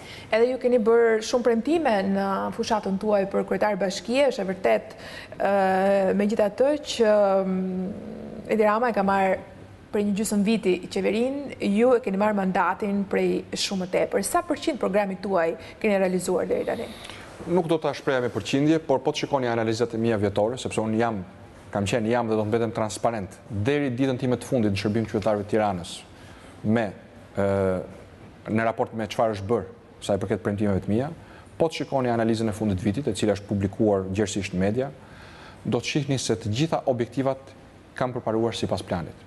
Dhe ky me sa duket është edhe një burim i madh shqetësimi për Edi Ramën, i cili është vërsulur si asnjëherë, ka bllokuar buxhetin, ka bllokuar punimet në bulevard në mënyrë të kundraligjshme dhe pastaj edhe kundër vendimit të gjykatave. Mundohet të bllokojë të tjera përqasje tonat për të realizuar premtime të mëdha. Ka shansin dhe mundësinë. të tregojë nëse me të vërtetë i bëhet vonë për qytetarët e Tiranës, apo është i gatshëm të sakrifikojë interesat e qytetarëve të Tiranës për shkak të luftës politike. Në mbledhjen e ardhshme të Këshillit, ne do të paraqesim finalizimin e disa proceseve të rëndësishme për qytetin e Tiranës, jo për këto katër vjet, po për njëzet vitet e ardhshme, siç është shërbimi i ri, që është bërë bashkë me Bankën Botërore, i mbledhjes dhe trajtimit, më fal. Nuk kam minuta për 20 vitet e ardhshme, këtu jemi do flasim për 20 vitet e ardhshme. Ka mundësinë të tregojë se sa Serioz është për qytetarët e Tiranës. Do ta mbështesë apo jo projektin tonë me Bankën Botërore për një sistem të ri të mbledhjes dhe përpunimit të mbetjeve urbane, për terminalin multimodal që po bëhet me fondet e Bankës Evropiane për Rindërtim dhe Zhvillim projekti dhe është koncesion, për projekte të tjera të rëndësishme siç është projekti i parkimit në qytetin e Tiranës. Dhe shumë e shumë projekte tjera. Deri tani në krye bashkisë Tiranës. Dhe shumë e shumë projekte tjera. Që do të bëhet mund se të cilat ne i kemi paraqitur në Këshillin Bashkiak dhe që presin miratimin e Këshillit Bashkiak, ku siç e dini, shumicën e ka zoti Rama me zotin Meta. Ë besoj se në të treja fushat bilanci flet vetë. Ia kemi dalë që Tiranën në dy vite gjysëm përmes politikës së uljes taksave dhe thjeshtimit procedurave administrative, Përmes politikës transparencës, siç është plani urbanistik i miratuar, t'i japim një dimension ekonomik më kompetitiv. Shifrat e vitit të kaluar tregojnë qartë se politikat nxitëse ekonomike, duke përfshirë dhe fonde për të nxitur punësimin e të rinjve, fonde, para të Bashkisë Tiranës për të nxitur punësimin e të rinjve, kanë dhënë efekte. Natyrisht, kohët ekonomike janë të vështira, natyrisht bashkia nuk është dhe nuk mund të jetë përgjegjësi kryesor, përkundrazi është thjesht një aktor. sepse përgjegjësinë për politikat ekonomike ka kjo qeveri që ka rritur taksat, ka rritur tarifat, ka rritur taksat, ka rritur akcizat dhe kjo po jep një por ne do të vazhdojmë politikën tonë të taksave të ulta.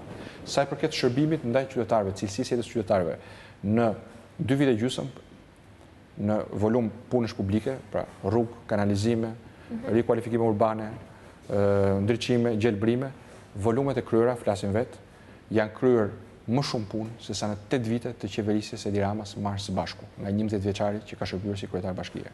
Ndërsa sa i përket Tiranës moderne europiane, projekteve strategjike, pavarësisht prej luftës së paprinciptë të pakrahasueshme, siç thanë përfaqësuesit e Abu Dabit, s'e kemi parë as në Afrikë këtë sjellje të qeverisë, për të bllokuar projektet e Tiranës së shekullit njëzet e një, siç janë Bulevardi i ri i Tiranës, siç është rehabilitimi i lumit të Tiranës, siç është projekti multimodal i pasagjerëve, terminali Unaza e Madhe, trami, Tirana multicentrike, policentrike, hapësira e gjelbër, investime të reja, pa fund premtime, i kam çfarë. Jo, jo, nuk janë premtime, janë realitet ato.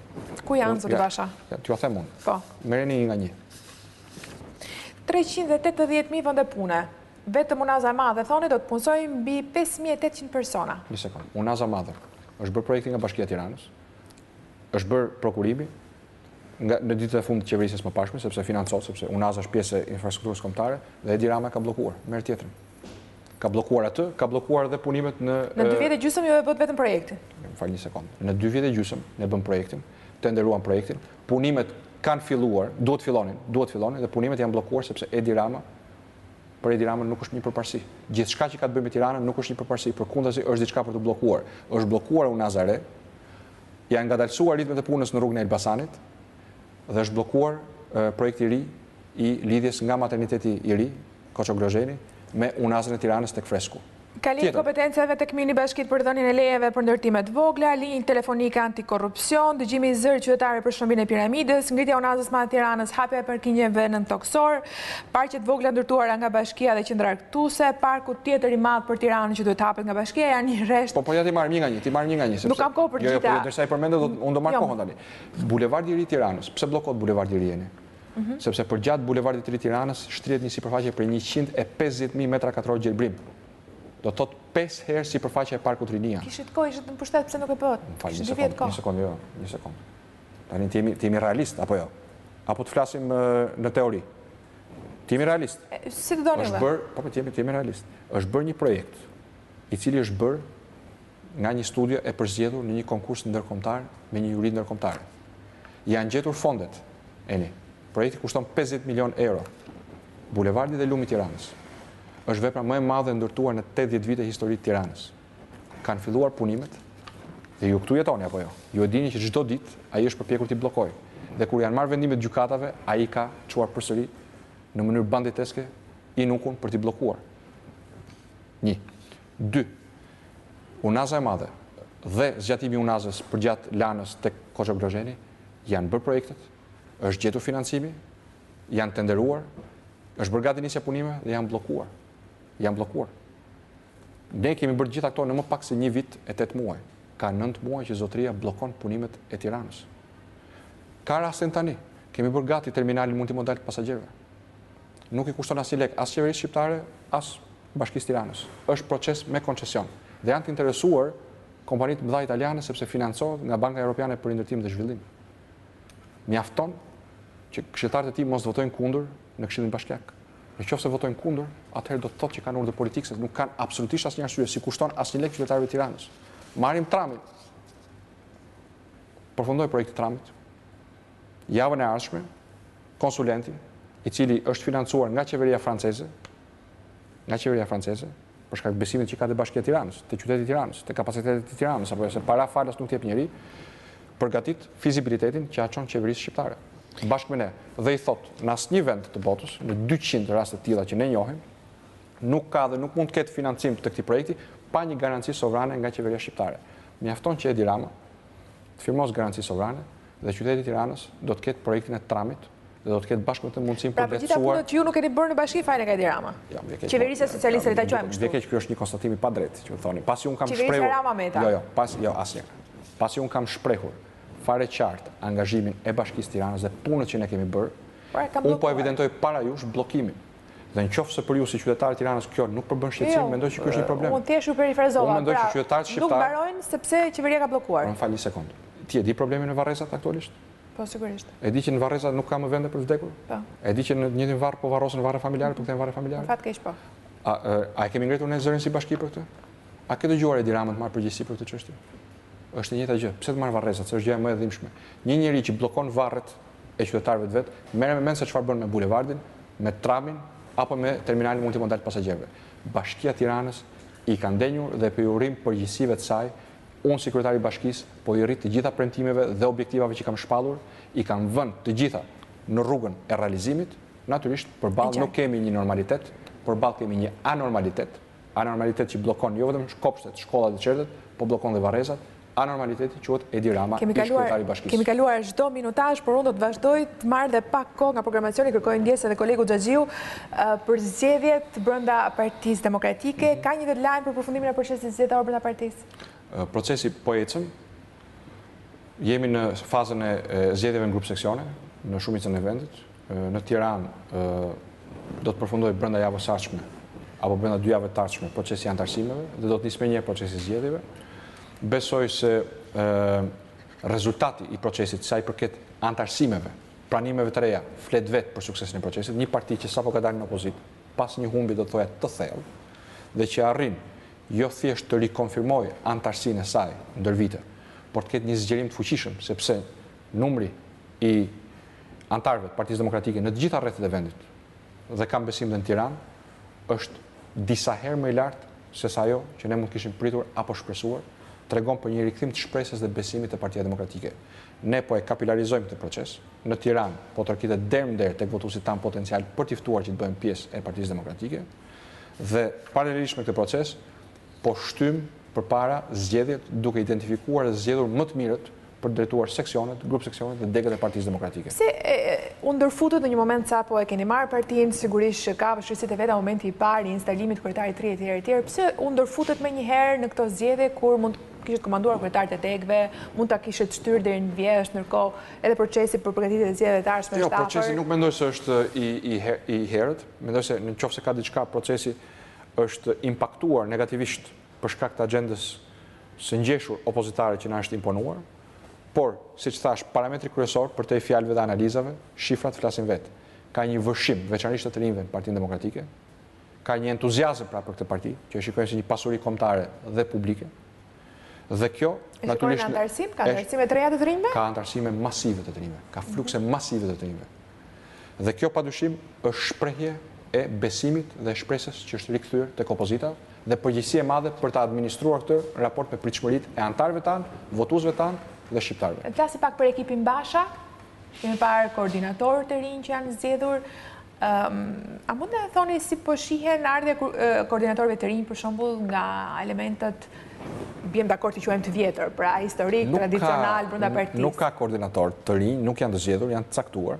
është një detyrë e përkohshme, e cila parashikon për ta mbikëqyrjen e ecurisë së procesit të anëtarësimit dhe mbikëqyrjen e procesit zgjedhor, që do të thotë garantimin e rregullave statutore në të dyja proceset. Krijimi i koordinatorëve sikur ka sjellë pak xhelozi brenda partisë, jo, një lloj konfliktualiteti. Nuk mund të them këtë, bëhet fjalë për afro 120 individë me një histori të përfshirjes në Partinë Demokratike, disa prej tyre që nga themelimi, disa prej tyre prurje të reja, por të spikatura në Partinë Demokratike, të cilët çfarë kanë marrë përsipër? Kanë marrë përsipër, janë ngarkuar të monitorojnë zbatimin e statutit dhe udhëzimeve të kryetarit të Partisë Demokratike, sa i përket anëtarësimeve dhe zgjedhjeve. Kjo, kjo është detyra e tyre, ky është mandati i tyre, dhe besoj se edhe falë përkushtimit të tyre... Është një figurë e re? Apo jo, është një figurë e re?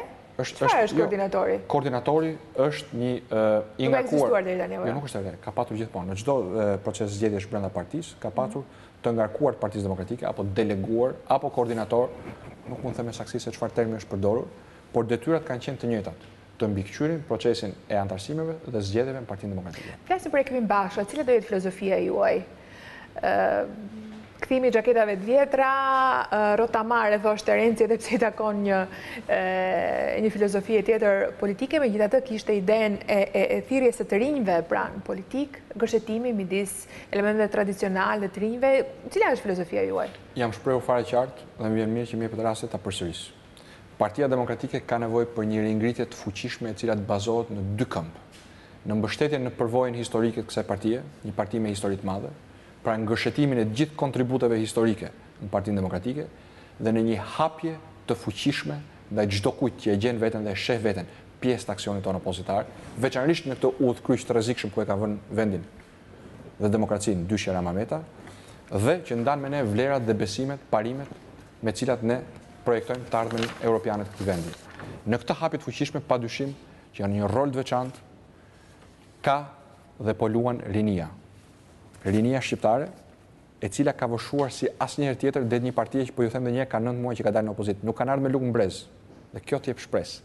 Kanë ardhur të marrin përgjegjësi, do marrin përgjegjësi, dhe do të jenë shtyllë dhe garantuese e një brezi të ri dhe një stafete të re të Partisë Demokratike për ta çuar përpara kauzën tonë për një Shqipëri të lirë, demokratike dhe europiane. Ju thatë edhe dy gjëra dhe do ta mbyllim pasi nuk ka më minuta, ju thatë që do të riafroni brenda Partisë Demokratike emra dhe personalitete që janë lënë jashtë saj në zgjedhjet e vitit të kaluar. Zgjedhjet për deputetë viti dy mijë e trembëdhjetë, do të thotë që ka qenë gabim lënia jashtë e tyre? Jo, nuk thashë këtë. Thashë që Partia Demokratike është e hapur për të gjithë ata që ndër vite kanë patur historinë e tyre në këtë parti, kanë kontribuar për këtë parti dhe që për një arsye apo një arsye tjetër kanë janë larguar në një moment të veçantë apo kanë mbetur pasivë. Sot Partia Demokratike i ka dyert e hapura për këta individë nëse dëshirojnë të japin kontributin e tyre dhe të bëhen pjesë e përpjekjes tonë opozitare sot dhe ofertës tonë si alternativë e shumicës nesër. Pra të rinj e të vjetër brenda Partisë Demokratike, vend për të gjithë, po si do ta menaxhoni luftën e brezave që sipas të gjitha zërave brenda Partisë Demokratike ka filluar tashmë? Nuk ka. Sensacioni gazetaresk dhe dëshira për të nxjerrë lajmin është një gjë, realiteti është një gjë tjetër. Ka një ndërthurje të shkëlqyer që nuk fillon me mua, si kryetar partie, po ku unë jam pjesë dhe tregus i ndërthurjes së prurjeve të reja të vitit dy mijë e pesë, që ishin pjesë e rëndësishme e fitores së dy mijë e pesë-s, me përvojën e themeluesve të qëndrestarëve dhe të atyre që vijnë sot në Partinë Demokratike. Nuk ka si të jetë ndryshe. Nuk ka dhe nuk do të ketë sindrom të vitit zero me Lulzim Bashën kryetar të Partisë Demokratike, sikurse do të ketë një shtytje të fuqishme që përvojën e akumuluar ndër vite, historinë e madhe të kësaj partie, ta kombinojmë me ambicien e madhe të kësaj partie që është dhe do të bëhet realitet, duke u mbështetur fuqimisht tek rinia shqiptare që po vjen, do të vijë dhe të cilën e presim me krahë hapur në Partinë Demokratike. Zoti Basha, faleminderit që ishit me mua sonte në Sfidën e Hapur. Faleminderit për ftesën. Faleminderit, shpresoj që të vini sërish. Me kënaqësi. Faleminderit edhe një herë, faleminderit që na ndoqët të nderuar teleshikues në këtë intervistë drejtpërdrejt me kryetarin e Partisë Demokratike, zotin Lulzim Basha. Me Sfidën e Hapur do të shihemi të martën që vjen.